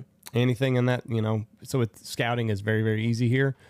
But like one day you're riding around, you don't see anything. Next day you show up and they're here. Right. So it's like well they came at night. Right. And then like that's when you hear them. Whenever you step outside, it's at night. There are a lot of people who are building uh, these predictive models. Um, uh, the U.S. Fish and Wildlife, a bunch of guys are trying to figure to, to build these models, and a lot of it has to do with uh, on the East Coast, uh, especially. It has to do with with temperature and, and snow snow cover as to predictive models that help determine when birds move. I think that is super fascinating. I've got gone down that rabbit hole too. Right. I think that's is the next generation of what duck hunters want to see is predictive modeling on it simplified and showed Yeah. to you. What shocks me is how much east to west movement there is. Yes, that surprised me as well. Yeah, I was just thought a duck went from north to south. Now, now you know, five miles here, Right, ten miles here. But when you see a, a goose that's here and they go to s- s- the Arkansas Right. for a week and then they come back, Yeah. like what the hell? What makes you go? those arter- arter- arterial flyways, uh, the, the wood ducks in, in Georgia do that too. They have a, a bunch of west migration, you know, local wood ducks are going east west too. It's it's very cool. Back in the seventies, there used to be a flock of uh, snow geese, probably in the, even in the eighties, that stayed at Hagerman Wildlife Refuge by Sherman. They would fly down the the Red River and they would go to the, the Waggoner Ranch. And the Waggoner Ranch used to have a big a big wheat field, and they still do. but I think it was 10, 10 miles by thirteen miles, so sixty thousand acre wheat field Yeah, and they they cross fenced it. Back in the day, they didn't even cross fence it. Imagine driving a tractor around that sucker one day to make one lap. But anyways, the the, the snow geese would go from Hagerman, fly down the red the Red River, land on that wheat field, and then go back every night. Now you can't tell me they can't find a wheat field somewhere between that wheat field to go to. yeah, But it's just weird how birds had. Uh, but they would do that track every day. yeah. It's crazy, A- and uh, I think a lot of it, again, you know, speaking from what I know, is when they find a place that's safe and has food, like they stay in that pattern until they have to move. You'd thought they'd found water closer though. Right. You- That, that's just crazy, but how they do. they stuff. way the way they move is is, is fascinating.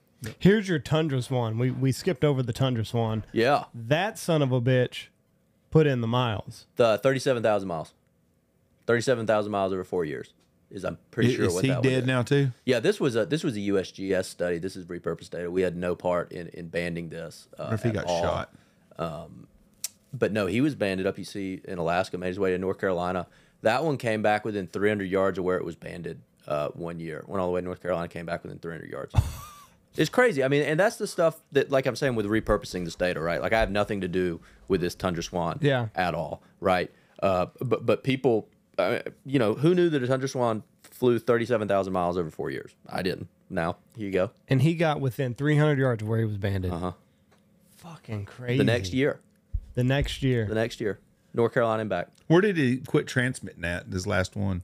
uh, in North Carolina. The the icon is the last known location, and then the red dot in the top left hand corner is the start location. And we're constantly working on these maps. We're going to filter in some some time, you know, filters where it's a little more like year by year, week by week type stuff. I wonder if in the three year times, the, the three trips back and forth, if he stayed in the same place the same night, other than where he was banded. We did. I'm pretty sure it was uh, th- number 38. I, I did an Instagram post that broke one of them down uh, pretty specifically on, on where it went and, and its flight paths. But as you can see, I mean, it's it's, it's pretty similar year over year. Did, did- one year he went to Toronto though. Did he do that every year? Or was that just uh I'm pretty sure, and I haven't looked at this bird in a couple of weeks, but I'm, I'm pretty sure that was a year or two. Um, it, there there were some small differences in their movement every year, but Well, I mean, like that's 2009, and then that's 2011. So Right. two years, he's flying basically the same path.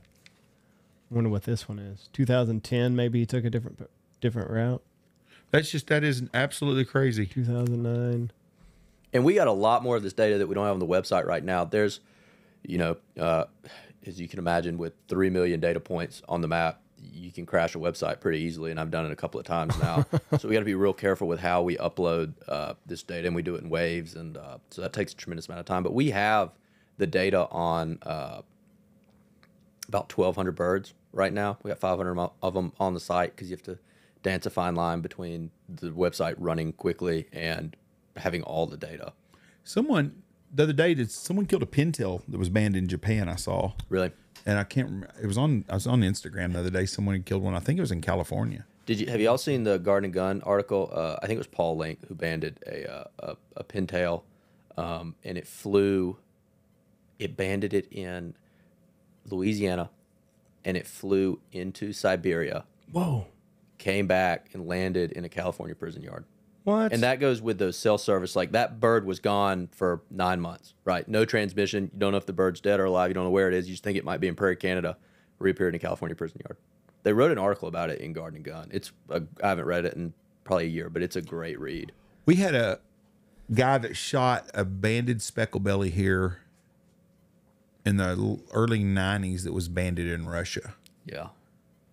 and you know, because but but it's a close line. I mean, there's Alaska and Russia is not that. I mean, it's far No. apart, but by bird miles, you know, especially when you get to that little part right there. There's that. I don't know how far apart that is, but I bet it's not four or five hundred miles. There's some birds on our map that were banded in pintails, banded in Japan, that made it uh, to Alaska, and then there were um, some eiders and some scoter that were banded in Alaska that were kind of bebopping back and forth between Russia.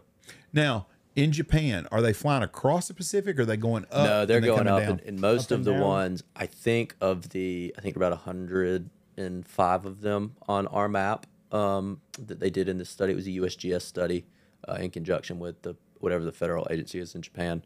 Um, only one of them made it to Alaska because they were trying to see if there was any interconnectivity between Japanese pintail and your West Coast Alaska pintail populations. That was the point of that study. So some of that data is on the map just because it's fun. It's in Japan. It's in a different part of the world. Somebody, I had a guy that was hunting with us last year. Was telling me him and his wife were on a cruise between Cancun and Galveston, and a flock of blue winged teal flew over. Yeah. Well, i- i- and uh, some of those blue-winged teal on our map, um, they have they fly over the Gulf of Mexico. One of them, quite literally, left from uh, Orange Beach, Alabama, and its next stop was in Cuba. I was uh, like over the Gulf. And they, they they've shot some blue winged teal in Colombia, I believe, that were banded in America a few times. In oh, in South America, Yes. yeah, they go all the way down. Some of them make it to, to Brazil. I mean, they go all over the place. That's I why- think blue wing teal are a, fascinating. Bird. They, they are, and I believe teal season should open September first and end the end of September. Yeah. Because most blue winged teal don't even get hunted anyways. Yeah. The biggest majority of them go to Mexico, and there's no pressure. I know people will be like, "We can shoot 200 in Mexico." The bird numbers down there that get killed, they're they're just not very many of them. Are the, I mean, do you see when you've been down to Mexico? Does anybody talk about hunting these birds that come down there? at the uh, at Nova uh, Nova Placha, uh, Mike Mike Krizwicki, that's his. He has a big. Uh, he's a Boise State researcher. Mentioned him earlier. He's uh, helps run that field station around where he is. There's there's a pretty good bit of uh, of hunting, mostly for pintails. A lot of pintails there. Um, and you say a lot, like it's not like a lot of hunting like there is here, but Right. there are hunters throughout the season, kind of near him. Right, but it's not like it is here. No, not not even. I mean, if you look at the the total, and this goes back to what you were saying, if you look at total total birds killed in the U.S., Canada, and Mexico, uh, Mexico is an inconsequential number. Yeah, I mean, it's Yeah. absolutely zero. I mean, they just don't kill very many. And the guys that kill them kill a bunch. Right. Yeah, because the limit's what twenty five, and you come back to you know I don't know how I feel about that, good bad, but again it comes back to putting a value on the bird and making it a worthwhile thing for people in Mexico to manage for them. Mm-hmm. So everything's not as simple as they're killing twenty five you know pintails a day in Sonora. Well, what would happen to that land if you didn't have American hunters going there? yeah. So there's, I mean, you know, there's about, and you know, if I went to Mexico, I don't know if I would kill 25 ducks in a day, but if I was in the blind and fun, I can't. Again, my moral stance will get tested. Thing, things have changed. Depends changed. on how they're decoying. things have changed so much. I'm writing a book, and in my book, I'm trying to write it based on 1963. Is the first part of my book is this book is going to be based in 1963, but I'm about to punt on that because it's so hard. Mm-hmm. But coming up with data from 1963 with hunting regulations, because I hate to watch a TV show and a flock of geese fly over and, and it's quacking, whack, whack, whack, whack. Right. Ain't a fucking duck. That's a goose. You know, does somebody working at Hollywood not know what the difference is? So I want my, I don't want someone to pick apart a book and say, well, he had his numbers right. Right. Hunting seasons in the 60s and stuff were completely different than they are now. Well, they were real small. Well, and the way people viewed the resource was completely different. Take Cameron Pe- Parish in Louisiana. Mm-hmm. They and and again, this is anecdotal data, but they said that the illegal harvest in Cameron Pa- Parish was more than the rest of the country's legal harvest for a number of years there when duck numbers were crazy in Louisiana. I'm ask this kid the shit out of them. You want to get rid of something? You tell somebody from Louisiana they're illegal and they taste good and they're gone. I've heard that they say that when I'm in Venice every but year. but people ate killed to eat. Yeah. You know, in 19 in the middle of the 60s, how many people do you think even had a deep freeze in their house? Right. Well, it's a different time. I mean, you can't compare the two, and, and the habitat was so much more. No, num- numbers were yeah, different. It was a different type deal. Uh, Roy Carter had put on on one of his social deals. He was talking about the duck numbers in Kansas where he's at. My dad grew up in southeast Kansas. They didn't have the duck numbers they do. Yeah. Well, now they have the food and the water there. Right. And back then there wasn't food everywhere, so they had to have winter push the birds down. But it wasn't just winter; it was food. Right. If you was in North Dakota and you ran out of food to eat, you went on down south. Right. Well, nowadays there's food opened all the time. It's not just the hot water stuff. Right. That there's just more food than there used to be. Yeah. And Louisiana doesn't have the food they had in the '60s. Well, they have they've had all that marsh get killed from the oil from the canals they dug with the oil. Uh, I mean that just absolutely And sugarcane. and sugarcane. Yeah, they, they didn't have sugar cane in the '60s. Oh, much. right. I'm with you. They had rice, Right. Right. Right. rice, corn, milo. They had grain. Yeah. There's not a lot of grain down there anymore. Yeah. The the saltwater intrusion just absolutely has obliterated their coast, and there's not much. I mean, once you dig those canals and all that water starts coming in, your brackish water becomes salt water, and your fresh water becomes brackish water. I mean, it, it's a problem. it, it, it is a it's a big ecological disaster. It's happened down there. Yeah. I read a book called The Atchafalaya Basin one time. It was a really interesting book. Yeah. About that lifestyle down there. Yeah. That's a my favorite people in the world are people from Southern Louisiana. They have the best food in the world. I love the way they talk. Man, it's fun. They're there. outdoorsmen. Mm-hmm. They just your grandpa's down there, right? So my my mom's family is from Baton Rouge. I got a bunch of family still in Baton Rouge. Um, uncle, a bunch of cousins. That is a, the neat, and they made the most out of living in a freaking swamp. They sure have. I and I don't I don't like snakes and I don't like alligators and I don't like mosquitoes. There ain't if you drop me off, I would rather get dropped off in the woods. Probably in Alaska, I think I would rather try to fight a grizzly bear with a switch than have to have to live in the swamps of Louisiana with alligators and snakes. What about you, Andy? I don't know, man. There's been time like when when you leave uh, New Orleans and you come back this way, and like it's just marsh, marsh, marsh, little bit of land, marsh. I don't know how anybody survived that. no, I mean, and like you're talking about bugs and snakes and gators and just everything there is just awful. Andy, I'll tell you the thing that surprised me about how f- much like when you think of New Orleans, you think like that's it. You can go a long Yeah. way south of New Orleans. Yeah. We, we went to Venice. We went to Venice last Yeah. year when we ran up on the sandbar, Oh, really? Yeah. or uh, wasn't a sandbar? It was uh, Mud flat. mud flat. Yep. We almost Yeah. lost our good buddy Dirk Swirls there because I was going to pay him hundred dollars to swim across the canal, and there were some gators there, and he was thinking about it. That'd been a big mistake on his part. bucks. is Probably. hundred bucks. We were uh, we were trying to go bow fishing, and um, you have to do. Evidently, the tide went out. Didn't know about it, and we were kind of going to where the guide had seen a bunch and buried it. But we had Jeff. We had our cameraman, who is another large fella. So we all stood on the front of the boat to kind of get, to kind of get that motor up just a little bit to where. And we were worried though. No cell phones were working. And the guy goes, I've got a mosquito net for it to spend the night. I'm like, whoa, whoa, hold on. What this spend the night bullshit? Where'd that come from? Is there somebody we can whack, flag down? We never even seen another boat No, the whole afternoon. We were lucky we got off, but he did. He goes, I got a mosquito net if we have to spend the night out here. I thought, screw that shit. I don't know what we would have done. Shoot a flare up? I, don't, I, I I have, legitimately still, we don't might know. still be there. I don't know. Because I mean, you can't push off though, right? Because you just go up to like your waist in mud. You getting that? You just sink. Yeah. There's, it would have been a long night. When those guys drop us off uh, at the blinds with the guys we go with, the one thing they say is, "Do not get out of the blind. Don't. Like, don't get. out. You can't walk. Like you say, you'll just sink. You'll just sink. Yeah, you can't. You know. Oh, so I, I was thinking gators. They just said No, don't do just- it because you- you'll sink. Yeah. That's that's one of my fears. Um, we were hunting. There's a place up here called Truscott, and we were we were walking back. I wasn't on there this. I wasn't there this day, but um, there's like sinkholes, Mm-hmm. and you just walk because you knee deep water.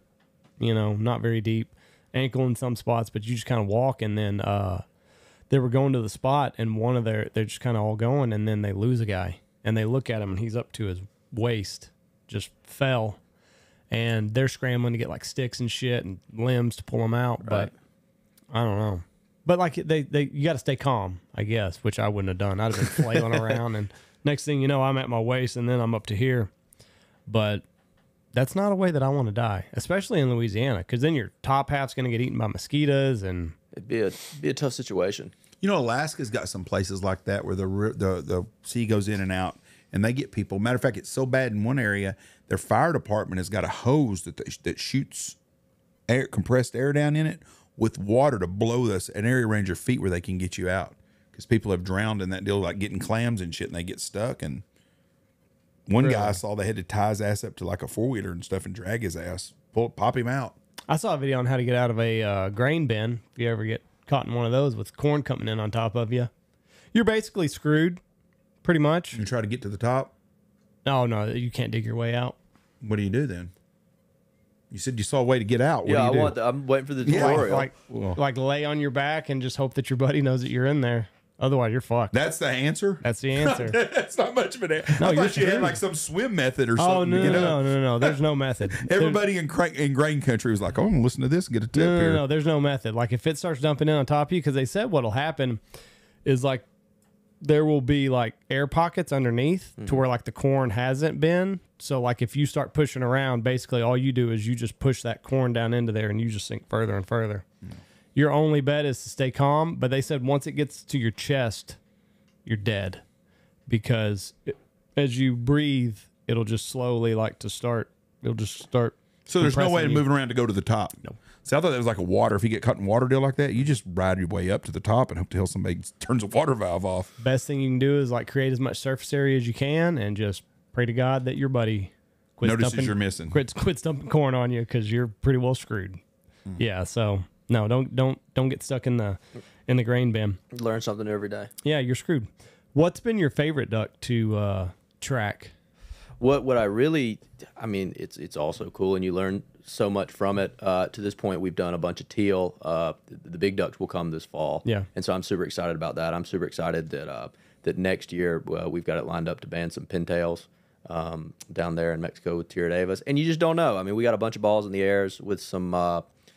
Some researchers here in the U.S. and, and we just don't know what's going to fall into place. But uh, it, I mean, every time, you know, I get attached to them, and the, the one thing I will say about it is, I, I'm a hunter and I like to hunt, but I do find that I get a lot more excited now when we band them than I do when we then we hunt them. Mm-hmm. Yeah. and I am starting to get a little soft about killing them, just from dealing with a, Yeah, a Miss Quack duck Quack. much. you know, Yeah, she's it, I, down it's- somebody's table. I'm drinking my own Kool Aid, but I, I'll sh- I'll shoot a duck. I don't care about shooting a goose. what do you Yep. mean?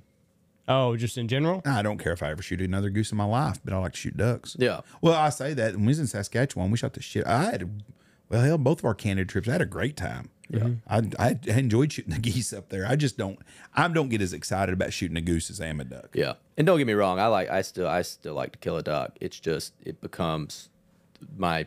What I enjoy about them is starting to change. I this love to, wa- I love to look at a duck and see a duck.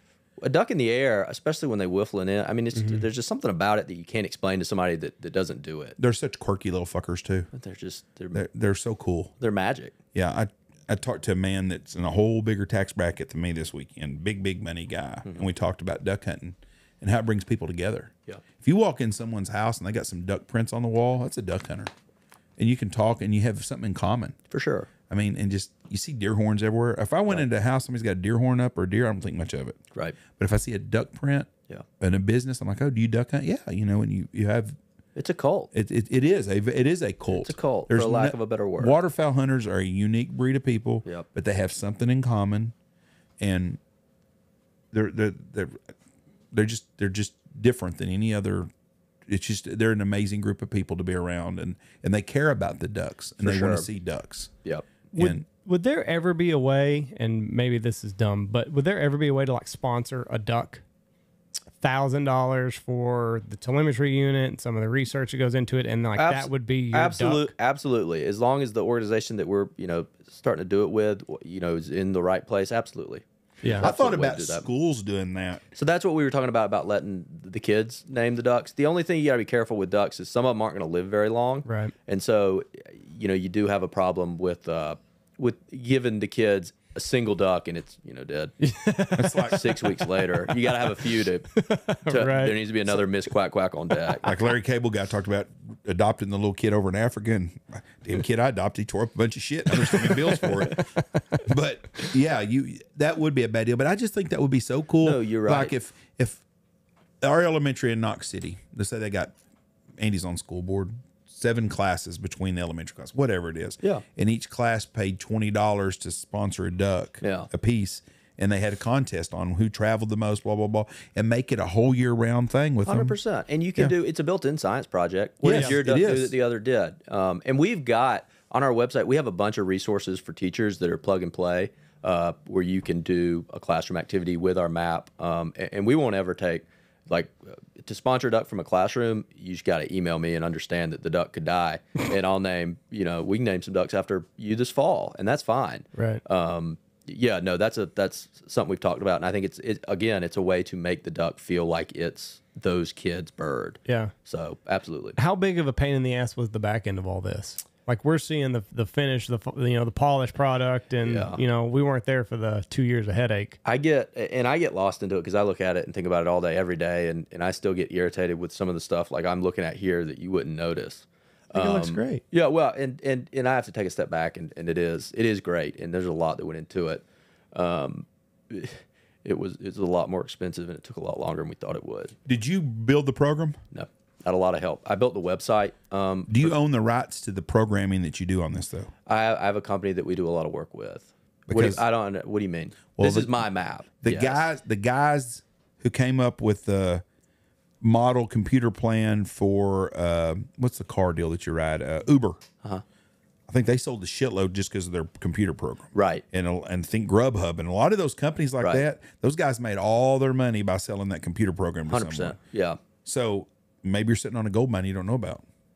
Well, if you can tell me how to I don't a know bunch of shit money of- from it, I'll get you a check in the mail tomorrow. Well, if I could, I would cash that check, but I don't. But I just know that a lot of people that have had these deals Are- have written computer programs that's made like Microsoft or somebody comes up and says, "Oh, Right. we could sell that to the U.S. Army or something to make a whole lot more money off of it." Right. So, And, and the, the, value you're talking about there is uh, data has value, and especially in today's day and age. And it's a tremendous amount of work to to get the data that we get into repurpose it, and and um, you can do a lot of uh, of stuff with that data as far as licensing it to people a lot smarter than me who can build predictive modeling, stuff like that. Um, certainly, and our ultimate goal would be to, to be uh, a data repository for anyone who's doing telemetry work in the world that believes in our mission, um, and we can work the finances out, you know, with all of those guys and how much money they need for fundraising. Where they're banding birds and we're putting it on, you know, our website, and then we're talking about what they're trying to do and just driving eyes to what they're doing, trying to raise more awareness for what they're about. well, I think you got into a cool deal. I love the that educational purposes that, that schools could use with this. Yeah. And I'm betting you there's some teachers that are listening to this right now that are thinking, you know what, we're doing that next fall with our kids and we're going to get them involved. Yeah. Because you can make a competition between the other classes. Oh, yeah. And you know what? If Miss Wiffles or Waffles dies, it's no different than having your kid in ag classes. That's part of life. It is, for sure. Life and death is part of it. And That's why the hermit crab was a class pet for a long time. Those fuckers live forever, and it, and you're not gonna realize it. You know, your teacher puts another one in there. You're like, oh, Herbie's still there. and who has to take him home in the summer? Uh-huh. And who has to take him home in the summer? You get a new one come the fall. Yeah, exactly. I th- this is. I grew up as a kid loving the Ducks Unlimited. And I used to love the green wing part of it Right. because Absolutely. And so this is just another. This is a lot better version of that because as a kid I would read the little maps where it was banded, and I was just So fun. and And and you know, kids, especially these days, are so much better at technology uh, than adults. And and the map is going. We're we're going to build some interfaces with it where it's super. Like if you're really good at technology, you can really get in the weeds and play with it. Um, we're, we're working on that now. But but you're right. That, that, that that's our that's our crusade. That's our charitable crusade is from this educational component. Um, and I think we can do a lot of good with it. how do people get a hold of you? Uh, you can follow us on the Instagram. Uh, you can send me an email, Greer, G R E E R, at 50ducks with an S dot com, 50ducks.com. And what's your Instagram? it's 50 Ducks North America. And then the Facebook is just 50 Ducks. What? Uh, who's doing your Who's doing your uh, blogs? Most I like e- these. most everything you see that's written, I've I've written. I got some uh, some guys that help me with some uh, you know SEO optimization type stuff. But most of the things you read that are written, I've written. From talking to you and listening to you, we've had a lot of people sit in that chair. You're a pretty bright guy, I can tell. Very educated. I appreciate it. What's your background? I put on a good facade. You've done a good job then. Georgia? Where'd you go to college at? I went to the University of Georgia. Born in Macon, went to the University of Georgia. Uh, graduated, uh, taught school and coached football for a year, and then I joined uh, corporate America. I worked for a company that um, built an algorithm. We went into big buildings and figured out how to save money on power, uh, just based on their usage. You can Georgia Power has it's kind of a different type power company, but that's what I did for a while, and you know it was fine. It was a good job. Um, I got in pretty early with it, but I mean, it was corporate America, and um, I did. I worked for a biotech company after that, Um, again, that was one of those things where I sat in Zoom meetings and I had to Google words as we were having the meeting. I mean, those guys were so much smarter than me, and it just never was what you know my heart was really in. And so this has given me, I mean, it's a blessing, and it hasn't worked yet, but you know. I'm doing it. Uh, my dad is, is getting close to retirement. He's an attorney, and he's going to come on board. I got some great wildlife biologists from the state of Georgia helping me, and, and you know I've made contacts around the world who are doing this, and uh, it, it's been it's been really fun to try and get it off the ground. Well, you're a sharp guy. There's no doubt about it. And find you something you love to do makes things a lot better. Yeah. I bet you enjoyed football coaching a lot more sitting in corporate world, but don't pay near as good. Yeah, it, it was a it was a lot more fun. You lose. I'll tell you this too. Like as you become an adult, you lose that competitive outlet that you had as a kid in sports, and so it, you have to find a way to do it. Um, at least I do, and this kind of gives me that because it is you know a conservation conservation based educational thing, but it's also you know a business, and you have to make it work, and you have to make the numbers work too. And so I've enjoyed that. I mean, it's it's very competitive, right? I mean, you have to. There's a lot of there. You get told no a lot more than you get told yes. We had a professor from Georgia not long ago. Mike Chamberlain, the the turkey guy, turkey doctor. Yep, familiar of him. Uh, he he and uh, a guy who who's on our team, Reggie Thackston, who is the Bob White Quail and Turkey guy in Georgia. Um, I, I'm pretty sure they know each other. Mike's a good. He was a very interesting guy. He was uh he was talking about because we were they geotagged a bunch of turkeys and Yeah, that's fascinating. something about he had to hunt them because like the geotag the tags were about to go expire. I don't anyway. The gist of it was they recovered all but one, and they were uh like they had real time data, like they knew exactly where this bird was. Couldn't kill him. Really? He said it was. He said he looked over at the student that he was hunting with. He's like, "This has not been fun. This has been just miserable." He's Turned like, into a job, huh? 'Cause- yeah, eh, because he's like, I know the motherfuckers. He's over there, fifty yards. I know he is. I see it. He's right here. He's, he's pinging right now. He's like, what the hell? Yeah. He's like, this has not been enjoyable. Because I was like, boy, Too much information. yeah. Because I was like, I wonder if I would enjoy turkey hunting more if I knew the bird was close. And he was like, I can answer that. He's like, it's no. Yeah. He's like, it was not an enjoyable hunt. Yeah. But there is something about like you know the uh, the surprise of it all. Like if you know he's going to pop his head around the corner, or if you're hunting a, a pond, I guess you'd kind of be. It might be different with ducks because it's a lot of big flocks. Yeah. So knowing that, like, hey, there was a, some, a geo geotag here. So how's that going to work? You Well- said it's going to be how long after before they get like real time data? So it's when the bird is, is completely gone for its location. Uh, we randomize the data, and when that bird is dead, it will get put onto Right. Or when zoom all the way in, or after 60 days and it's left. We'll do it either way. But there's a lot of site fidelity with a lot of these birds too. So if the duck's coming back to the same place next year, we're gonna have to take it down. We're gonna have to play with that a little bit because because these Right. we can't have people you know being able to target these birds. So we think we might not put the exact data on there until that bird has you know died. But like you say, to the thing of what's fun about it is the surprise of it all Yeah. you know, we're building an app. We'll have a, an app here in I don't know this next it, within the year for sure to, to get on your phone to look at it and to see where the duck has gone mm-hmm. overnight. Like you got a cold front, you know, in the prairies, you know, like, oh, but a bunch of ducks have moved. Uh, that's the fun part to me, more than just the science. It's when we had, you know, when we were building this back and we had a couple of ducks on there, is to wake up and to look and just be like, oh, you know, they're moving north, or, or, or oh, we lost one in, in cell service. I wonder where it's going to pop back up. Right. So uh, the surprise of the whole thing is is the novel aspect of it that makes it so fun. So you're getting that like you're getting that all the time now. You're getting to see the migration all the time, Uh-huh. seeing where it's at. Yep, and everyone will this fall. That's Everyone will this fall. crazy. That that's really really fun to think about. Yeah, it is fun, and and it's Cuz there's you know, you're always sitting around with your buddies like, "Oh, I wonder I wonder how far the birds made it down." right Now you're going to be able to know. now you'll know, and and it's and it's specific enough where you'll know that, like you you know the bird was in Devil's Lake, now it's in Stuttgart. Wow, you know, Mm-hmm. Right. or now you know we're midway through Kansas, Yeah. right, and then oop, two days later we're in South Texas, right? I mean the whole thing is it's fascinating.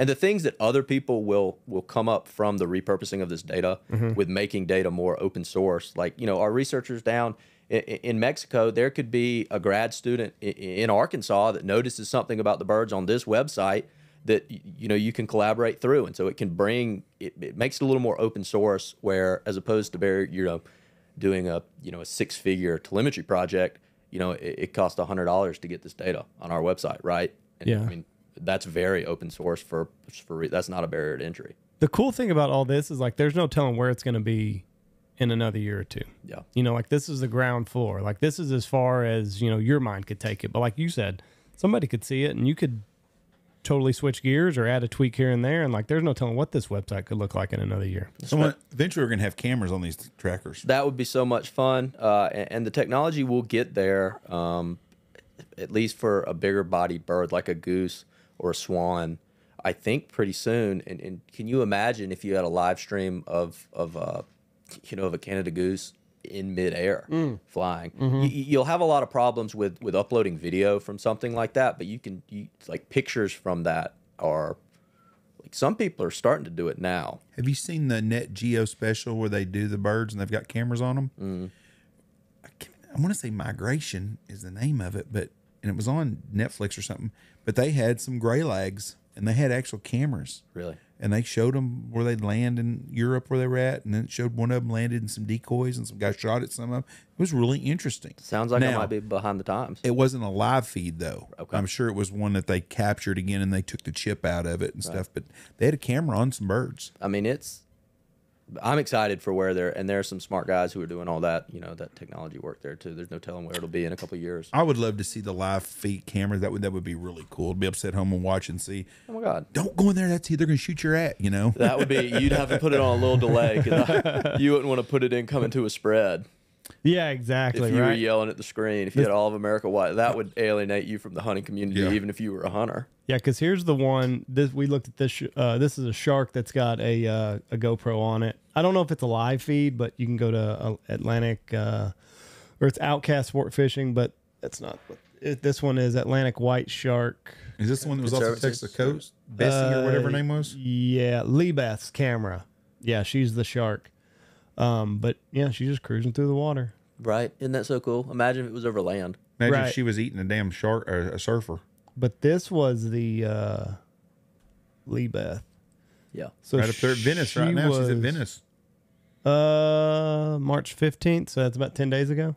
Right around Venice. Right around there. Right. And I'll Right on say that this sandbar too. we were on. uh, as far as these these map trackers that, that go online, y- there's a ton of just trolls and people that are super hateful on, on social media and Oh. whatnot. Our our response to these maps has been overwhelmingly positive. Um, from and there are people everywhere that you know have their opinion and negative things to say, but it's been.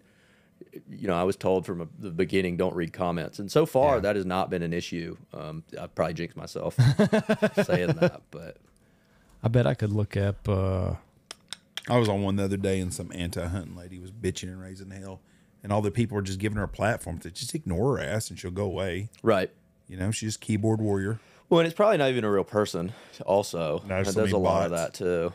so I circumvented the Instagram not working. I went to your Facebook. So this y'all were he was banning them. That's in Mexico. that's isn't from that's from this that's from uh, this December. That's Manuel right there. Um, that's with.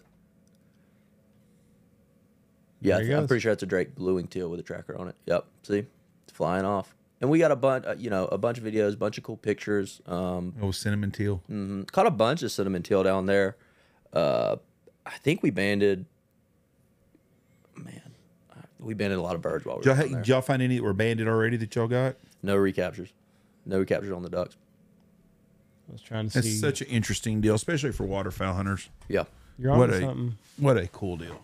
It's going to be a lot of fun to watch this. Well, listen, man, we've gone two hours now. So We appreciate you making the trek from Georgia to come to the Big Honker Lodge. Well, do I appreciate I appreciate the invite. It's uh, you know, it's fun to talk to new people and uh, you know, to, to have a platform to talk about something I truly love. It's it's, it's really fun. There's a lot of people interested in this. Had a lot of people at Bass Classic this weekend talk about it because we had said that you were going to be on here. Well, fantastic. Well, it, you know, it, it's it's been really fun so far, and I, I can't get off of this without you know saying thank you to you know Jack Miner and to Tierra de Aves, especially Manuel. Uh, we couldn't have started this without him.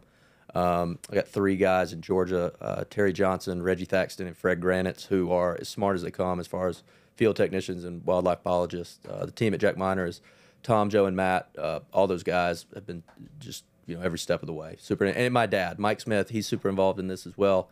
Um, you know, it, it, it there's a lot for everything you see that happens. There's 15 things that go on. behind Oh yeah, hundred percent. That's on everything. Has it been a pain in the ass getting the app up and going?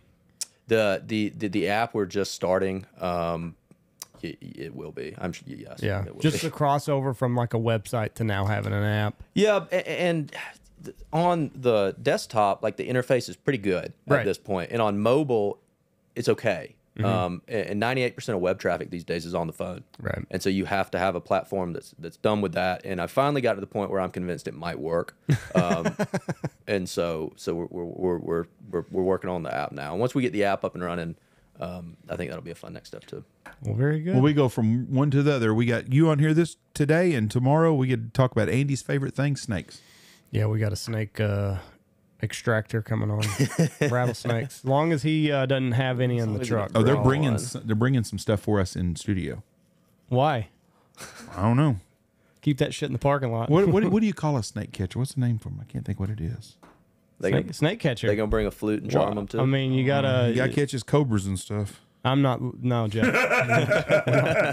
I don't even want to see a garter snake.